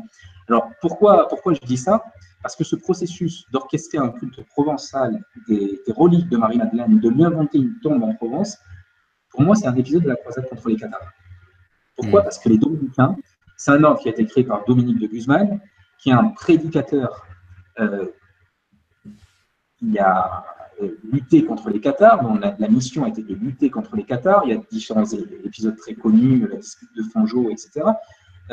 et euh, Dominique de Guzman, il a créé l'ordre des Dominicains, qui à l'époque n'a qu'un seul but, c'est de lutter contre le catharisme. Alors pourquoi les Dominicains, à une période où les Qatars sont encore très vivaces, où ils font des allers-retours entre l'Italie et le sud de la France pour continuer la prédication. Pourquoi cet ordre qui a fort à faire, d'un coup se dit on va s'occuper des reliques de Marie-Madeleine hmm. S'il n'y a pas un lien entre ce culte des reliques de Marie-Madeleine et la lutte contre le catharisme, je pense que c'est un moyen de lutter contre euh, certaines affirmations qu'avaient les Cathares au sujet de Marie-Madeleine et d'anticiper peut-être la découverte de cette tombe. Juste pour, pour le, détail, on va va c'est cohérent. Le Messiment à Vézelay, c'est-à-dire qu'à Vézelay, on a l'orchestration aussi le culte des reliques de Marie-Madeleine. Et comme par hasard, sur la colline voisine de Vézelay, on a un foyer d'hérésie. Voilà. Euh, hmm. Comme par hasard, à, chaque fois qu'on trouve Marie-Madeleine, on, tente de. Enfin, dans tous les endroits où il y a un culte ancien Marie-Madeleine, on s'est approprié un autre lieu. Hmm. Voilà. Donc, elle, pour moi, c'est elle qui a ramené certains écrits, euh, et sans doute son propre évangile aussi. Et je pense fatalement son corps. Si elle est morte ici, euh, il y a forcément une tombe, où qu'elle soit. Alors, question suivante, euh, ça j'y réponds rapidement, c'était pour moi. Envisagez-vous de faire une émission sur le manuscrit de la mer morte? Euh, Oui, je ferai une émission Les mystères du monde sur les manuscrits de la mer morte dans l'année, Après, j'ai beaucoup de choses à faire, donc cela fera partie des projets. Alors, j'en ai vu une autre juste à côté, euh, oui, intéressante. question, du coup, pour connaître la gnose chrétienne, faut-il sérieusement étudier les évangiles apocryphes? Il faut euh, sérieusement se pencher sur certains d'entre eux, pas sur tout, parce que euh, évangile apocryphe, il y, a, différentes traditions d'évangile apocryphe. Alors, il y a les évangiles, on va dire, apocryphes, euh, qui racontent des épisodes qui ne sont pas, qui ne sont figurés dans les évangiles, mais qui ne sont pas contraires au dogme. Par exemple, certains évangiles apocryphes vont raconter l'enfance du Christ. il n'y a pas de danger pour l'Église et c'est d'ailleurs un, un, vivier d'images pour la représentation statuaire au Moyen Âge. Plusieurs représentations en fait du, Christ enfant au Moyen Âge sont directement liées à ces apocryphes-là. Euh, les apocryphes qu'il faut lire, c'est tout ce qui relève du savoir gnostique. J'aurais quelques conseils de lecture. L'Évangile de Marie, parce que c'est un texte qui me semble être fondamental sur la scission. Après, la portée euh, philosophique et spirituelle est plus complexe. Euh, L'Évangile de Philippe, très clairement. Pour moi, d'un point de vue spirituel, sur la spiritualité gnostique, c'est celui qui est le plus éclairant et le plus clair. Donc, l'Évangile de Philippe. Euh, Pistis Sophia, c'est une lecture aussi euh, qui est plus complexe parce qu'on part dans la mythologie, euh, dans la mythologie gnostique. L'évangile de Thomas, lui, est à la fois gnostique et pas gnostique. Il y a différentes traditions qui s'en mêlent, mais il y a quand même de très très belles formules qui sont, elles, purement gnostiques, comme à propos du divin, hein, soulève la pierre je suis là, sans le bois et tu me trouveras. Donc, c'est cette idée que le divin est présent partout et qu'on ne peut pas, qu'on peut pas l'enfermer dans un, dans un dogme.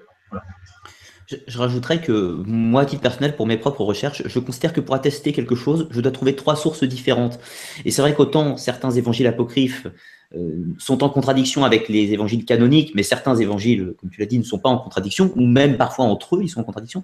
Mais après, on peut retrouver des textes grecs, comme l'hermétisme de Platon, dans, enfin dans plusieurs textes de Platon, les, notions hermétiques, ou dans le Codex Hermeticus, ou dans la Table d'Émeraude. Il y a plusieurs autres textes qui véhiculent la même transmission historique ou théologique que certains évangiles apocryphes. Donc, important de comparer des textes et d'avoir plusieurs sources, en fait, tout, simplement. Hein. du moins, c'est mon point de vue. Oui, non, non, mais je, suis d'accord avec ça. Il ne faut pas, il faut pas une, source unique, c'est-à-dire que la, la gnose, c'est aussi un état d'esprit. Mm. Euh, on va la retrouver manifestée de différentes façons à travers les siècles, à travers certains mouvements littéraires aussi. Euh, sur la gnose, j'aurais tendance aussi à conseiller de lire euh, plutôt les universitaires américains que, que français. Lane Pagel notamment, qui est parce que pourquoi euh, Parce qu'ils n'hésitent pas à remettre en question l'histoire de l'Église et à dire qui était le bon christianisme. Voilà. Ils n'ont pas peur, ils sont. le cas, en France. Et bon, il y a en collection Pléiade un, un écrit gnostique aussi qui est très bon, une édition de tous les textes de Nagamadi. Donc là, il y, a, la totalité de ce savoir. Euh, voilà. Enfin, en tout cas, une grosse partie. Il n'y a pas Pistis Sophia dans cette édition-là parce que ça ne vient pas de Nagamadi, mais à conseiller aussi. D'accord. Bah on notera tout ça euh, sur le forum du site après pour retrouver. Alors, hum, est-il vrai que les Qatars étaient tout à fait pacifistes? Ils n'ont pas opposé, n'ont opposé aucune résistance ou défense à leur propre destruction? Oui, alors c'est ça. L'individu, enfin le, Qatar lui-même est pacifiste. Après, on a évidemment toujours des contre-exemples, c'est-à-dire on a aussi eu quelques actions euh, violentes, euh, mais globalement, les Qatars sont des pacifistes. Et quand on prend le cas des sièges de Montségur, par exemple, euh, ce sont des, chevaliers qui sont rémunérés par les Qatars pour les défendre. Donc, ils vont payer une autre personne, en fait. Eux-mêmes ne vont pas commettre l'acte de violence. Dans la plupart des cas, évidemment, on trouvera toujours des, contre-exemples parce que euh, c'est moins des hommes. Euh, voilà. Mais dans la philosophie Qatar, la philosophie Qatar est absolument, euh, est absolument pacifiste et euh, il n'y a, a, pas eu de chevalier Qatar. Voilà. C'est, euh, hmm. pour l'anecdote, alors c'est, vraiment anecdotique, mais euh, quand, quand, on prend l'autoroute qu'on vient de Montpellier, qu'on rentre dans les terres Qatar en direction de Carcassonne, on a une aire d'autoroute avec donc, des sculptures contemporaines qui s'appellent les chevaliers Qatar. Hmm. ce, qui, a hérissé le poil des occitanistes et des à l'époque, et euh, notamment de Francis Cabrel, qui, euh, a écrit une chanson, Les Chevaliers Qatar, euh, Francis Cabrel, sur ce monument-là, en dénonçant le fait que bien l'artiste qui, a créé ces œuvres devait venir du nord de la Loire parce qu'il a rien, c'est une offense. Et l'artiste avait provoqué en duel, ils devaient se rencontrer sur l'art d'autoroute. Enfin, il y a toute cette anecdote. Mais alors là, je dis ça, c'est amusant, mais voilà, ça représente bien, ou ça répond à la question. C'est-à-dire que euh, les armes et les cathares, c'est deux choses qui sont antithétiques d'après la philosophie. On n'est pas à l'abri de quelques personnes individuelles qui ont pu être violentes, mais comme on retrouve chez les Templiers, quelques personnes qui répondaient pas au dogme, c'est tout à fait euh, cohérent. Mm. Euh, je, te propose de nous, de nous emmener voyager dans, dans ce mythe du trésor ou de secret perdu. C'est-à-dire que pour les Templiers, on a beaucoup parlé du trésor matériel. Il y a énormément de, théories qui concernent le trésor hein, des Templiers. Euh, c'est la même chose un petit peu pour les Cathares, bien que plus localisé dans le sud. On a cette légende d'un trésor cathare, du Saint Graal, d'un évangile, etc., qui aurait été déplacé de Montségur et qui aurait été emmené ailleurs. Alors, si tu peux nous montrer un petit peu hum, qu'est-ce qu'il y a de caché sous cette vision du trésor templier ou cathare, qu'est-ce qui est crédible déjà, euh, cohérent historiquement, et qu'est-ce qui peut nous mener à cette affaire de Rennes-le-Château après?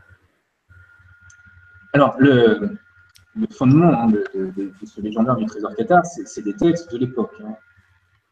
On a un récit qui est très clair, qui, est dû aux, inquisiteurs, aux adversaires des, des cathares, euh, qui euh, nous évoque qu'ils ont recueilli différents témoignages euh, qui affirment que donc, la, nuit qui a précédé donc, la, descente de ces cathares qui sont venus donc, sur le bûcher dans le champ des, morts à Montségur, eh bien, quatre parfaits donc quatre cathares, ont réussi à s'échapper euh, de nuit de Montségur. Alors, Montségur, pour ceux qui ne connaissent pas, ce château, il est perché sur un éperon rocheux. Et donc, les cathares, ces quatre cathares, à l'aide de cordes, seraient descendus le long des falaises de Montségur et auraient pu ensuite prendre la fuite. Donc, on sait, seulement qu'ils se sont échappés avec ce qui est désigné comme étant le trésor des euh, cathares. Alors évidemment, euh, le trésor, euh, la, première réaction quand on parle de trésor, c'est de penser à un trésor monétaire. Euh, c'est passablement absurde ce qui concerne les Qatars. Comme on rappelle, ça aurait été difficile de sortir ça de la montagne. Il semble une, une, masse assez importante, des falaises qui sont vraiment abruptes. Donc il y a déjà ce côté pratique. Ensuite, il y a le contexte lui-même, c'est-à-dire qu'ils savent que leurs frères, leurs sœurs, des gens dont ils partagent la spiritualité et à qui ils sont unis aussi par des liens affectifs et, euh, parfois familiaux, euh, vont mourir euh, le lendemain. imaginez, alors que le catharisme est, mort, hein, il ne restera plus que Montségur après à tomber, et puis c'est la mort du, du, catharisme visible. Donc imaginez qu'ils aient pu vouloir sauver des biens monétaires, ça n'a pas de sens. Donc à partir de là, ce trésor des cathares, c'est autre chose. Alors qu'est-ce que c'est? Euh, on a à un moment donné euh, ce thème du Graal qui apparaît. Euh, alors, il, a, il apparaît, il a été popularisé, en fait, cette idée que Montségur est le château du Graal, puisqu'il est question de Montsalvatch dans le Parsifal de von Eschenbach, et certains ont fait un rapprochement entre Montsalvatch, le Mont Sûr, le Mont Ségur, et se sont dit, ben voilà, c'est le château du Graal, donc le trésor des Cathares, c'est le Graal. Cette identification, elle a été euh, popularisée par Otto Rahn euh, dans les années 30. Alors, Otto Rahn, c'est un universitaire allemand euh, qui va venir accomplir plusieurs séjours dans le sud de la France. Il est étudiant en lettres, il découvre donc le Parsifal, le, cycle du Graal. Il, est fasciné par cette histoire du Graal et ça va l'amener jusqu'à Montségur. Et donc, il va écrire un ouvrage qui s'appelle Croisade contre le Graal, qui prend parti pour les Cathares euh, la croisade contre le Graal, c'est la croisade menée par l'Église contre les Cathares et contre le Graal dont ils étaient les possesseurs.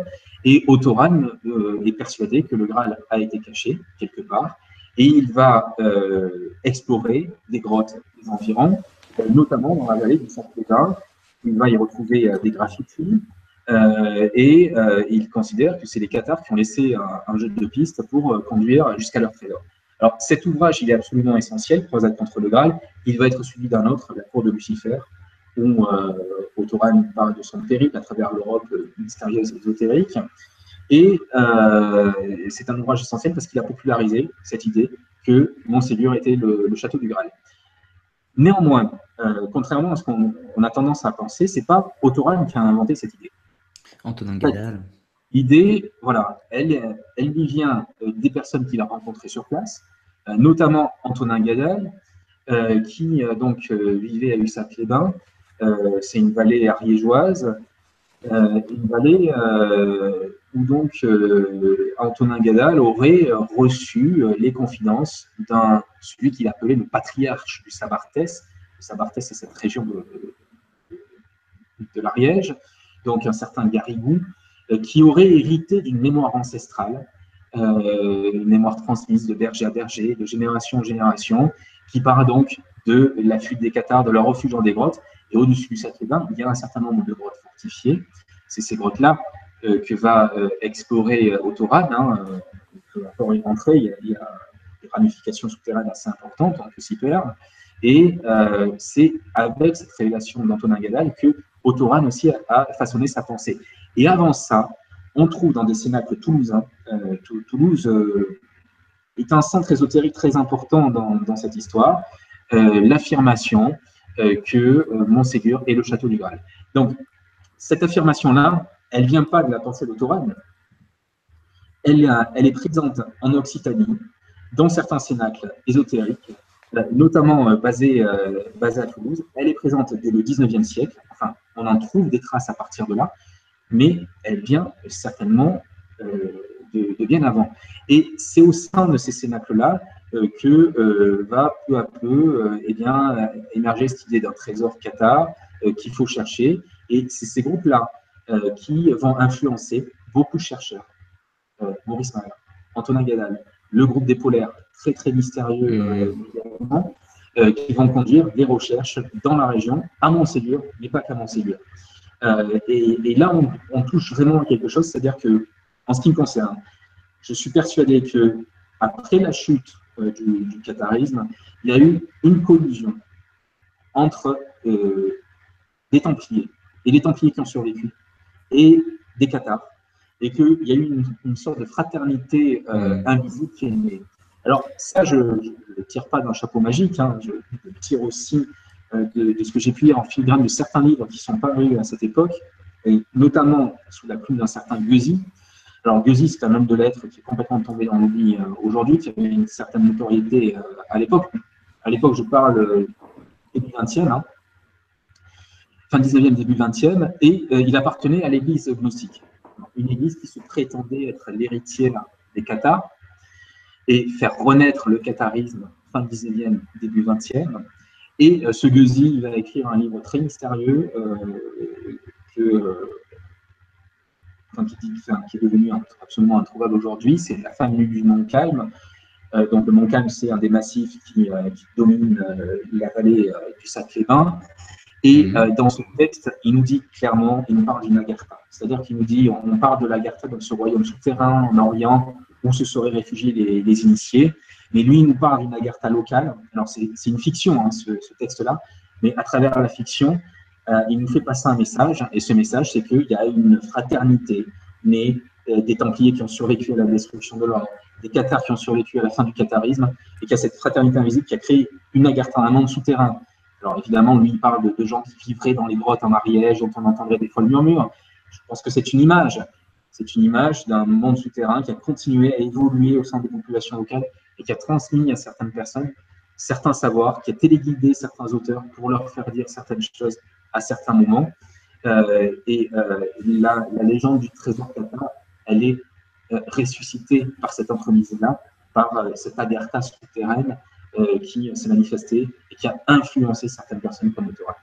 Et puis c'est allégorique aussi, le principe du monde souterrain, c'est le monde de l'envers, le monde invisible, qui se matérialise avec toutes ces grottes enfouies, ces kilomètres de galeries, n'ont fait que encore plus augmenter cet effet, ça c'est certain. Après, il n'est pas impossible également que les Cathares survivants et, se soient réfugiés, comme tu l'as dit tout à l'heure, chez les Templiers, et donc que les éventuels écrits, euh, manuscrits, parce que moi là je pense qu'on ne parle pas de sac d'or, hein, on parle bien, bien sûr d'écrits ou d'objets, de reliques, euh, aient été transmis dans un endroit de sécurité, et peut-être dans des commanderies en l'occurrence. Absolument. Alors, il y a, y, a, y a, un élément, c'est qu'à un moment donné, l'ordre du Temple, effectivement, lui aussi est tombé. Euh, et je pense que quand l'ordre du Temple est tombé, euh, certains, certains Templiers avaient hérité de ce savoir-là, Qatar, et ont voulu le protéger à leur tour. Alors, quand on parle de, ce trésor des Templiers, c'est vrai qu'il y a des lieux emblématiques comme Gisors, etc. Mais je, crois que vraiment le trésor spirituel, il est quelque part dans cette portion méridionale du territoire. Alors, on a un lieu euh, très particulier euh, quand on parle des Templiers, toujours dans les Pyrénées-Orientales, qui est une terre magique. J'insiste vraiment sur ce, cette définition magique des Pyrénées-Orientales. Et on a l'église de Planès. Alors, l'église de Planès, on est dans le Val-Espire, c'est-à-dire les plateaux de montagne euh, qui sont euh, dans, la partie euh, occidentale des Pyrénées-Orientales. Et cette église de Planès, elle est très particulière. elle est très particulière parce que clairement, ce n'est pas une église. C'est-à-dire qu'on a un, édifice euh, dont le plan ne ressemble à rien. Euh, c'est un, triangle avec des, lobes qui se développent sur les trois côtés du triangle. Ça crée une forme géométrique très spéciale. Et un clocher, à un moment donné, a été fixé sur cet édifice, mais d'un point de vue architectural, on voit bien que ce clocher à peigne, il s'est greffé là-dessus, mais qu'à la base, euh, l'architecture de l'édifice n'a rien à voir avec une église. Du coup, il y a deux traditions locales qui se sont développées euh, concernant cette église de Planès. L'une euh, l'appelle la mesquita, la petite mosquée, en expliquant que c'était en fait une mosquée, puisque cette portion du territoire été occupée par les musulmans à un moment donné. Et toujours dans cette veine de l'occupation musulmane, certains disent que c'est un tombeau musulman, il y a tout un légendaire autour, un ancien tombeau musulman qui aurait été transformé en église. L'autre tradition nous explique que ce sont les Templiers du Val-Espire qui ont construit cet édifice. Alors, il est évoqué à différentes, à différentes périodes. Mérimée, par exemple, quand il passe dans les Pyrénées-Orientales, quand il arrive dans la région de Perpignan, il a longtemps parlé. Euh, à l'époque, il faut trois jours hein, pour arriver jusqu'à jusqu'à Planès, on se déplace à cheval. Euh, et euh, il entend parler de ce monument qui, dont on dit confié aux musulmans, et donc il veut, aller le voir. Au 19e, 19e, on commence à avoir des interprétations ésotériques sur la forme de cet édifice. C'est-à-dire, on se dit, on a l'impression qu'il y a un savoir ésotérique qui a été transmis dans la forme même de l'édifice. Et évidemment, on a l'impression que c'est le dernier message Templiers du Val-Espire. Alors, c'est intéressant parce que les Templiers, on sait qu'il y a des Templiers qui, euh, ont survécu dans les campagnes euh, autour, enfin dans, les Pyrénées-Orientales. On a plusieurs récits comme ça à cette époque-là qui nous disent que les Templiers se sont laissés pousser la barbe qu'ils sont allés dans les champs. Devenus bergers et autres. Hein. Euh, voilà, dans, les Pyrénées. Donc, on a le souvenir de quelque chose qui a survécu euh, là. Alors, pour reprendre le, Planès, le, un des grands mystères, c'est que quand on va sur la côte catalane, donc à Villelongue de la Salanque, on va rentrer dans l'église de Villelongue de la Salanque, donc on est toujours dans les Pyrénées-Orientales, et là on va trouver la tombe de Béranger Amil, qui était un sacristain de, de Villelongue de la Salanque, mais qui était un des Templiers des Valesquier a fini sa vie de la Salanque. Et sur sa tombe, on va retrouver gravé ce plan schématique très particulier de l'église de Planès, avec une coupe qui était superposée. Alors évidemment, je rêve peut-être, mais je crois qu'il faut rêver dans cette histoire, parce que le rêve, il parle aussi obligatoire. monde. Euh, il faut trouver un juste équilibre entre, entre, entre les deux polarités, hein, l'imagination et puis, et puis la raison. Et euh, je crois que euh, c'est le seul moyen de pénétrer la vérité. Et là, euh, on a vraiment l'impression qu'il y a comme un dernier message sur cette tombe qui nous dit que dans cette église, il y a un secret euh, et que ce secret est lié au Graal. Alors, ce qui, est, intéressant, c'est que souvent, on peut trouver ce rapport que le, secret ou le trésor n'est pas forcément un objet, mais plutôt un symbole ou des symboles matérialisés dans des lieux. Et ça, c'est fascinant. C'est le lieu lui-même qui est le trésor, en fait. C'est ça, il y a des lieux qui, sont, qui ont des résonances. Et là, on, va peut-être toucher aussi. Je, pense que quand on veut définir le Graal et le trésor des Qatars, il y a, peut-être deux choses qu'il faut évoquer. Pour moi, incontestablement, il y a des textes, il y a des évangiles très anciens, peut-être un évangile écrit par Marie-Madeleine elle-même, euh, euh, qui, rapporterait l'enseignement spirituel du Christ tel qu'elle l'a reçu. Je, pense vraiment que ce texte-là a été aux mains des Qatars et que, euh, que c'est le trésor des Qatars. Alors, il y a tous les éléments que j'ai évoqués tout à l'heure, Antonin Gadal, que j'ai évoqué après, euh, il y a quelques minutes là, il y a un phénomène très curieux concernant Antonin Gadal. C'est-à-dire que Marie-Madeleine aujourd'hui est devenue un symbole du mystère chrétien. il y a eu ouais, Da Chicote, quoi. Il y a enfin les mines sacrées. Donc il y a eu tout un tas de livres qui l'ont mise en avant. il y a eu aussi toutes ces découvertes de textes gnostiques qui l'ont mise en avant, qui ont montré le rôle central qu'elle occupait. Mais à une époque où on n'en était pas là, on était très loin d'en être là, Antonin Gadal parlait de Marie-Madeleine. Et ça, c'est très étonnant parce que euh, cet homme qui, euh, qui, affirmait avoir été en contact avec des traditions cathares séculaires qui auraient survécu, notamment chez les bergers, chez certaines figures de, cette vallée du Sabartès, eh bien, il nous parle de Marie-Madeleine, il nous dit qu'elle est venue dans cette région, alors que personne ne le dit. Donc, pour moi, voilà, c'est un des éléments qui montre qu'il y a bien quelque chose qui a survécu, que ce quelque chose est lié à Marie-Madeleine et à un texte de Marie-Madeleine. Ça, c'est un premier Graal. Et j'allais dire qu'à côté de ça, il y a un autre élément, un Graal magique. C'est le, Graal euh, peut-être plus païen euh, de von Eschenbach, qui n'est pas la coupe du Christ, cette pierre magique qui est évoquée dans le Parsifal. pourquoi? Parce que quand on va dans les Pyrénées-Orientales, là encore, il est question d'une pierre cristalline qui aurait été Saint-Michel de Cuchat, donc qui, est un, monastère, un prieuré qui est au pied du Canigou, qui est un lieu très particulier aussi, qui a des résonances très orientales. Quand on, est à l'intérieur, il y a quelque chose qui nous ramène par la forme, par l'architecture à l'Orient. Il y a des textes qui nous parlent avant la Révolution, donc avant que le lieu soit pillé, euh, d'une pierre aux vertus très particulières. Et quand on commence à, creuser euh, dans les, euh, dans les sociétés ésotériques qui ont évolué dans ces régions-là, fin 19e, début 20e, on va voir que plusieurs de ces figures. Je pense notamment à Maurice Malle, qui pour moi est un auteur absolument essentiel qu'il faut redécouvrir aujourd'hui. Premièrement parce qu'il porte le beau en lui et euh, la, dimension spirituelle du monde, il la véhicule à travers ses textes littéraires et ses essais. Et euh, on voit qu'il euh, il y a là la tradition que certains dépôts ont été faits de pierres, de pierres talismaniques, on va dire, fabriquées de mmh. façon un savoir, notamment la figure d'Apollonius de Tiane, euh, qui, est, essentiel dans ces groupes-là. On va retrouver ça chez les polaires. Et euh, ces pierres talismaniques, on peut comparer au Graal tel que décrit par euh, Wolfram C'est des pierres qui sont chargées de certaines énergies spirituelles, qui sont faites pour être déposées dans certains lieux. Et à partir de ces lieux-là, elles vont dégager un rayonnement spirituel qui va résonner dans les individus qui sont en quête. Et quand on lit Magre, euh, eh bien, on, apprend que ces dépôts ont été faits dans l'Antiquité euh, en vue de temps obscurs à venir, pour réveiller la conscience spirituelle euh, de l'homme quand les ténèbres vont envahir la terre. moi, enfin, pour avoir parcouru certains lieux, notamment dans les Pyrénées-Orientales, pour avoir ressenti certaines choses, je pense qu'il y a eu des dépôts de cet ordre-là qui, ont, qui ont été faits, qui rayonnent, et donc que le fait de parcourir les lieux euh, c'est très important parce que ça, euh, nous affecte aussi intérieurement euh, de, de ce point de vue-là. On est dans une quête spirituelle qui a des aspects intellectuels, mais qui ont des aspects spirituels aussi et magiques.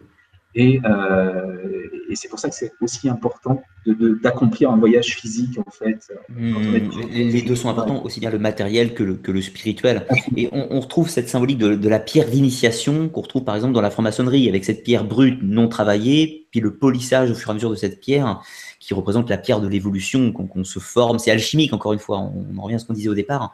Mais ce, ce Graal euh, peut représenter peut représenter beaucoup de choses, mais c'est vrai que Eschenbach le fait représenter par l'émeraude tombée de la couronne de Lucifer, qui, possède la connaissance. Donc on, revient encore sur, ce, sur les mythes du péché original. Il y a énormément de choses à dire sur ce, mythe du Graal. Mais c'est vrai qu'il y a deux choses vraiment à dissocier entre la, connaissance matérielle, qui peut se représenter peut-être par de vrais objets. Moi, j'ai pas de théorie propre, hein, franchement, sur, euh, sur un, objet matériel uniquement spirituel. Je, je n'ai que cette vision, parce que je n'ai pas d'éléments factuels, moi, qui me le prouvent extérieurement. En revanche, pourquoi pas? Je ferme à rien, pourrait-on dire. Le... Quand, on... va toucher au mystère de la Rose-Croix aussi, hein, dans, cette histoire, c'est-à-dire une fraternité invisible qui se manifeste à différentes périodes de l'histoire. Qui rouvre. Voilà, il y, a des rites particuliers, donc euh, la création de tombeaux de maîtres avec un savoir qui est enterré, qui doit être redécouvert à un moment donné. Et euh, je, pense personnellement qu'il y a quelque chose de cet ordre-là euh, dans certains mystères qui ont été euh, orchestrés dans, dans la région. Parce qu'il y, a, pour moi un lien direct entre la Rose-Croix et justement cette fraternité euh, agarthienne constituée de, Templiers gnostiques, de Cathares gnostiques, enfin voilà, de toute une fraternité qui s'est manifestée effectivement à un moment donné à travers, à travers l'alchimie. Je te, rejoins sur la Rose-Croix sur un point. Euh, qu'il y a vraiment ce symbole euh, très intéressant entre le côté, c'est chrétien, la Rose-Croix, c'est enfin, chrétien vraiment, et il y a ce côté de christianisme gnostique. Donc on retrouve vraiment ce lien euh, avec, pour moi, beaucoup plus dans la Rose-Croix que la maçonnerie, en l'occurrence du moins plus direct. La maçonnerie est trop organisée, c'est plus moderne, on va dire, la maçonnerie. Mais c'est vrai que la Rose-Croix me semble plus, propre d'être détentrice de quelque chose. Enfin, moi, je suis, je fais partie de rien, je précise au cas où pour, les gens, je l'avais dit dans d'autres émissions. Mais ça m'intrigue plus sur, euh, sur ce point. On sent clairement que euh, dans, la Rospa, mais je, pense qu'une partie de la maçonnerie euh, a été influencée, comme je disais tout à l'heure, par la Rose-Croix, et qu'une partie de la maçonnerie, pas toute, a pu hériter de certaines choses par ce biais-là, mais les, les, détenteurs du, mystère, c'est cette fraternité pour moi c'est certain, on sent bien à travers les textes que la fameuse fraternitatis, les noces chimiques, il y a quelque chose qui est en train de, passer. On nous décrit aussi pour l'époque des, champs artificiels, par exemple, qui sont conservés dans des, coffres. Donc, on nous décrit des savoirs, des technologies qui ne correspondent pas euh, aux savoirs et aux technologies euh, de l'époque où ont été rédigés ces textes. Donc, on a bien l'impression que cette fraternité, elle a hérité de quelque chose de beaucoup plus ancien. Hmm. Euh, et, tout à l'heure, bon, j'évoquais ces traditions maçonniques qui parlent d'un savoir qui remonte à l'origine du monde. Je pense qu'il y a aussi dans ce grand mystère quelque chose de cet ordre-là, puisque ces cénacles qui ont influé l'histoire du, trésor des Qatars. On a beaucoup parlé du Graal, mais j'ai exhumé les coupures de presse des années 60 hein, qui parlent aussi euh, des, années précédentes, hein, qui, parlent des, premières recherches autour de, de. Euh, ce qu'on a oublié aujourd'hui, c'est que euh, certaines des premières figures de chercheurs autour de Montségur parlaient de l'Atlantide, par exemple, et d'un lien entre la tradition atlantéenne et le catharisme. c'est quelque chose qui aujourd'hui est complètement gommé. mais ceux qui ont orchestré euh, cette résurrection de Montségur, ils ont bien fait un lien entre les deux, et à mon sens, c'est pas anodin. Alors, du, coup, j'en profiter parce que ce, soir, on n'aura pas le temps de parler de Rennes-le-Château, Gisors, il faudra faire une autre émission, on n'aura pas le choix. Mais je vais rebondir sur, euh, sur ce que tu dis, sur, par rapport l'Atlantide. Bon, moi, c'est ma quête. Hein, dans, mes émissions, je parle beaucoup de l'Atlantide, de tradition primordiale. Et je ne vais pas forcément prendre le temps de, tout expliquer euh, parce qu'on n'aura pas le temps. Mais bon, beaucoup qui connaissent l'affaire de Rennes-le-Château parlent de Pierre Plantard, de la mystification qu'il a mis en œuvre, de certains textes comme le serpent rouge et autres, de cette belle endormie, comme il dit, de ce secret enfoui, un secret symbolique, un secret qui n'est pas forcément matériel, mais, spirituel, euh, détenteur d'une civilisation plus ancienne. Et là, on ne parle pas du christianisme, on ne parle même pas de l'Égypte antique, on parle d'une sagesse ancienne qu'on ne peut pas forcément nommer, euh, hautement avancée sur un point de vue symbolique, spirituel. Donc, quel est un peu ton point de vue sur Plantard, sur sa mystification, euh, avant qu'on puisse conclure ce soir Alors, euh, bon, pour les auditeurs qui euh, connaissent pas... là, c'était beaucoup d'infos. C'est vrai que toutes les explications sur Pierre Plantard, un petit peu ça, ils les ont au cas où sur, sur ma chaîne et on pourra faire une émission beaucoup plus détaillée pour tout ça. Hein. C'est pas évident. Hein.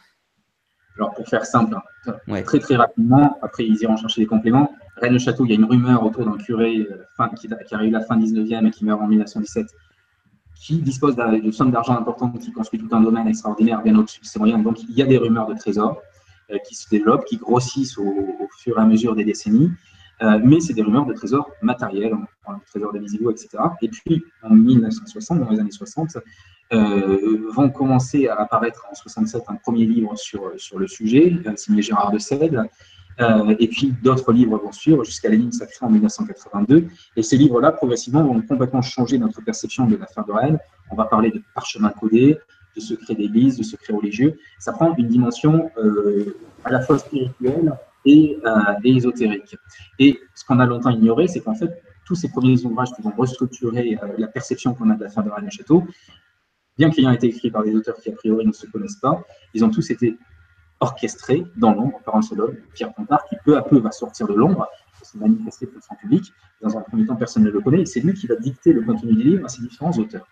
Alors, évidemment, quand on s'est rendu compte de la supercherie, parce que toute la belle histoire des parchemins montée à Paris, on s'est rendu compte qu'il n'y avait aucune preuve, et donc que Pierre Plantard avait inventé tout ça, euh, il a été considéré comme un imposteur. Et euh, un imposteur, mythomane, qui aurait fabriqué tout ça pour. Euh, donc, il a été extrêmement décrié. Parmi les auteurs manipulés, il y a les deux écoles. Il y a ceux qui en ont voulu, extrêmement voulu, jusqu'à être rancuniers euh, et de mauvaise foi euh, d'avoir été manipulés. Et puis, il y a ceux qui ont reconnu que, bon, ils avaient été certes manipulés, mais que ça leur semblait participer à un grand jeu métaphysique. C'est le cas de Denou et Bretigny, par exemple. Alors, enfin, jusqu'à il y a un certain temps, Pierre Plantard était donc extrêmement décrié.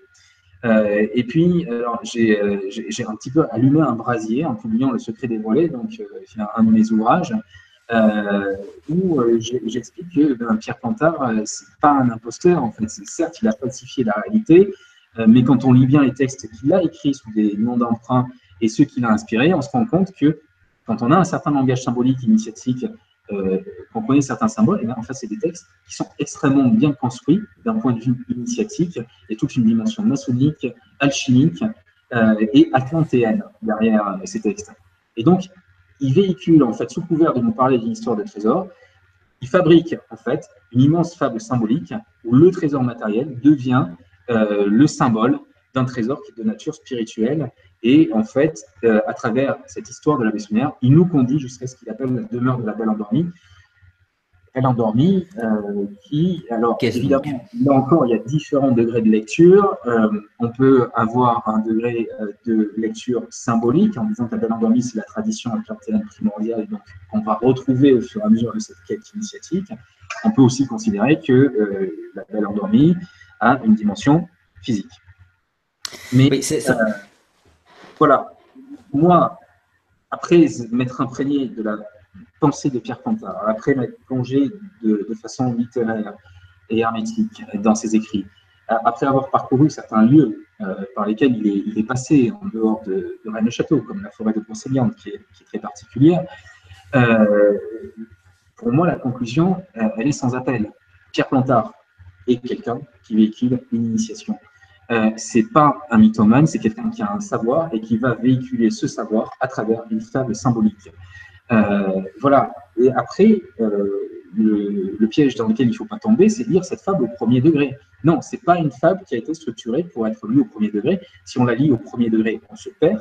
Il y a eu quelques phrases clés à l'époque, mais que personne n'a compris parce qu'il faut bien se mettre dans l'état d'esprit des gens à l'époque. On cherche un trésor, on le cherche avec des pelles et des pioches. Il y a des livres qui sont publiés. Ces livres, ils sont faits pour nous aider à nous guider sur le terrain et à aller creuser ici ou là. À aucun moment, les gens à cette époque-là, quand ces livres sont parus, n'ont envisagé qu'il pouvait y avoir un degré de lecture symbolique.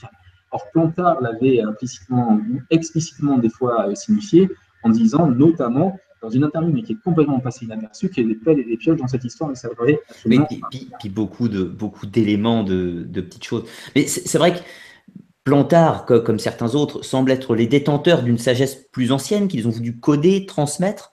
Mais ce qui est important, c'est que du coup, le lieu devient quasiment que l'anecdote, en fait. C'est-à-dire que le, lieu est juste le réceptacle pour raconter l'histoire, pour amener cette, symbolique du Graal, comme on retrouve dans la, dans la chapelle du Graal de Trévoranteux, que tu, que tu as parlé dans tes livres, qu'on retrouve à Gisors, que l'on retrouve euh, dans de nombreux lieux, lieux en France. C'est toujours cette tradition. Et ça revient à ce que tu disais, les Templiers et les Cathares étaient très certainement les détenteurs d'une tradition, qu'ils ont peut-être transmises, qu'on retrouve peut-être dans d'autres sociétés aujourd'hui, et dont certains auteurs plus modernes semblent également posséder peut-être les clés à nous donner.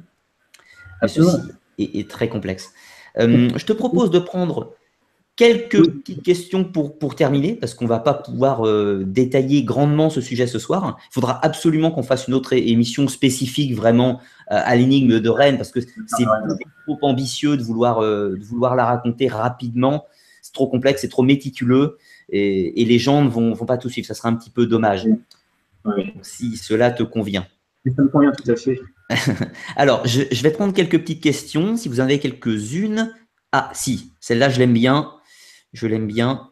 Euh, le film Assassin's Creed euh, avait-il un rapport Enfin, dans, Assassin's Creed, tu sais, on, montre une guerre entre, entre les Templiers et les Hachachines, un petit peu la secte des assassins.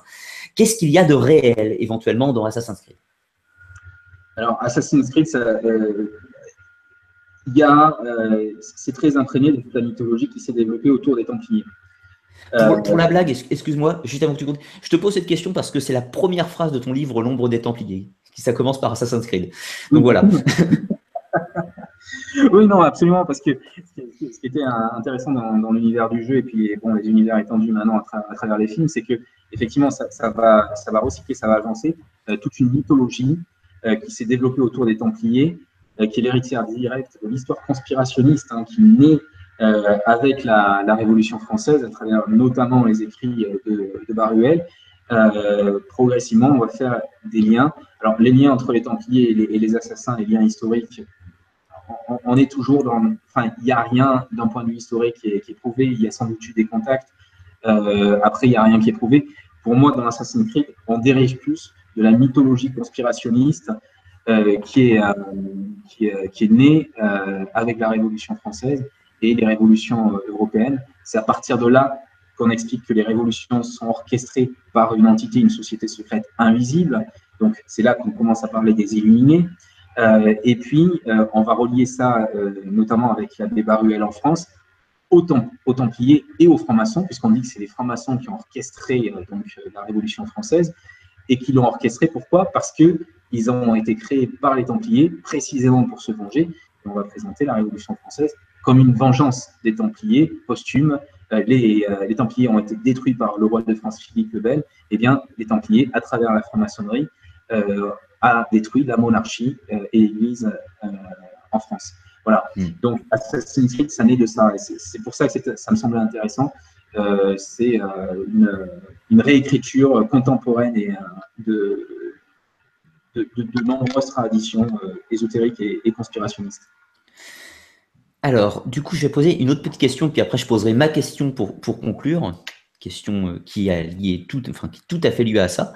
Euh, question de quelle région française venaient principalement les premiers chefs de l'ordre du Temple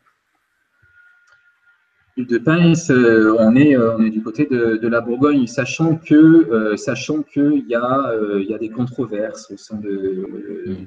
certains sur l'identité du duc de Pince, puisque dans certains textes, il apparaît sous le nom de Bagaris, de Bagaris, et donc là, ben, les origines seraient différentes. Voilà, on ne viendrait pas de Pince, mais euh, on aurait des connexions plus, euh, plus méridionales. Euh, voilà, c'est. Je serais tenté de dire aussi que l'importance de l'origine des premiers Templiers n'est pas forcément très importante parce que ce pas forcément les premiers qui ont un rapport avec le mystère en fait. Peut-être, mais c'est alors pas forcément obligatoire. Voilà, parce qu'il y, y, a cette interrogation sur, euh, sur ces hommes qui sont très peu à la base. Hein. ils, sont, ils, sont, sept, ils partent, ils partent donc à Jérusalem, ils font de l'ordre du temple. C'est vrai qu'il y a cette interrogation qui date de. Il y, a, il y, a, pas mal de temps. On se dit comment un petit groupe comme ça pouvait prétendre protéger les pèlerins? Mm. C'est qu'ils ont autre chose. Pourquoi ils ont demandé à être dans les écuries euh, du, du, roi Salomon? C'est parce qu'ils voulaient faire des fouilles. Effectivement, il semble qu'il y ait des traces de fouilles euh, pour retrouver quelque chose qui était caché dans le temple de Salomon. On a parlé de l'Arche d'Alliance tout un tas de, choses. On va retrouver ça dans Assassin's Creed, hein, d'ailleurs, hein, ces recherches occultes autour de, de l'Arche, etc. Mais euh, voilà, ça, je ne sais pas. Pour moi, je pense que l'ordre du temple est devenu une entité ésotérique en Orient. Je, on peut évidemment toujours imaginer que euh, cet homme sont partis avec l'idée de trouver quelque chose on n'a rien qui prouve de façon, euh, de façon historique et j'aurais plutôt tendance à penser que l'ordre du temps est devenu cette entité là-bas au contact de certaines choses. Hmm, je, te rejoins complètement sur cette analyse. Euh, la tradition, euh, j'évoquais les traditions de la, maçonnerie templière, hein, il est question d'Esséniens qui auraient reconnu dans les Templiers des gens qui pouvaient rentrer dans, dans, leur ordre et qui les auraient initiés là-bas petite question finale pour conclure qui n'a pas forcément rapport direct avec le sujet, mais en cherchant bien. Si je te dis 4, 8, 15, 16, 23, 42, à quoi tu penses? Alors, bon, pour, pour ceux qui ne connaîtraient pas, au cas où, c'est des chiffres emblématiques d'une série télévisée qui s'appelait Lost, Les Disparus. Et je, suspecte, Christian, mais ce n'est qu'une suspicion, bien évidemment, euh, que tu penses que Lost est une œuvre euh, initiatique et qui véhicule tout à fait, comme les cathares templiers, la quête du Graal. Oui. pour moi, Lost est clairement une œuvre initiatique. C'est pour ça que j'ai fait plusieurs références à Lost dans Le Secret dévoilé, dans la fameuse suite numérique que, j'ai mis en, évidence. Et il y a d'autres petits clins d'œil euh, ici et là dans, le texte. Euh, oui, c'est une œuvre initiatique parce que euh, c'est une œuvre hermétique. La, fin de la série a complètement déconcerté pas mal de personnes moi, je l'ai trouvée fabuleuse, cette fin. Euh, elle demande un effort de compréhension. Euh, c'est-à-dire que c'est le mythe du, vraiment, c'est le mythe du roi du monde. Euh, alors, le mythe du roi du monde, c'est quoi? C'est qu'il existerait un lieu sacré sur Terre très particulier, qui correspond à l'île, hein, dans, dans l'Ost, où il y a une source spirituelle pure qui émane de ce lieu. Et l'idée, c'est que toutes les religions, à travers les siècles, se sont inspirées de la visite de ce lieu pour structurer euh, des répliques amoindries de ce site à travers euh, les époques euh, et, les zones géographiques. Et dans l'os, on retrouve ça. Pourquoi? Parce qu'au fur et à mesure de la série, on découvre qu'il il y a les ruines d'un temple hindouiste, qu'il y a une, immense statue égyptienne, que les Romains y sont passés également. Donc on voit que toutes les civilisations sont passées et ont laissé des traces religieuses sur cette île.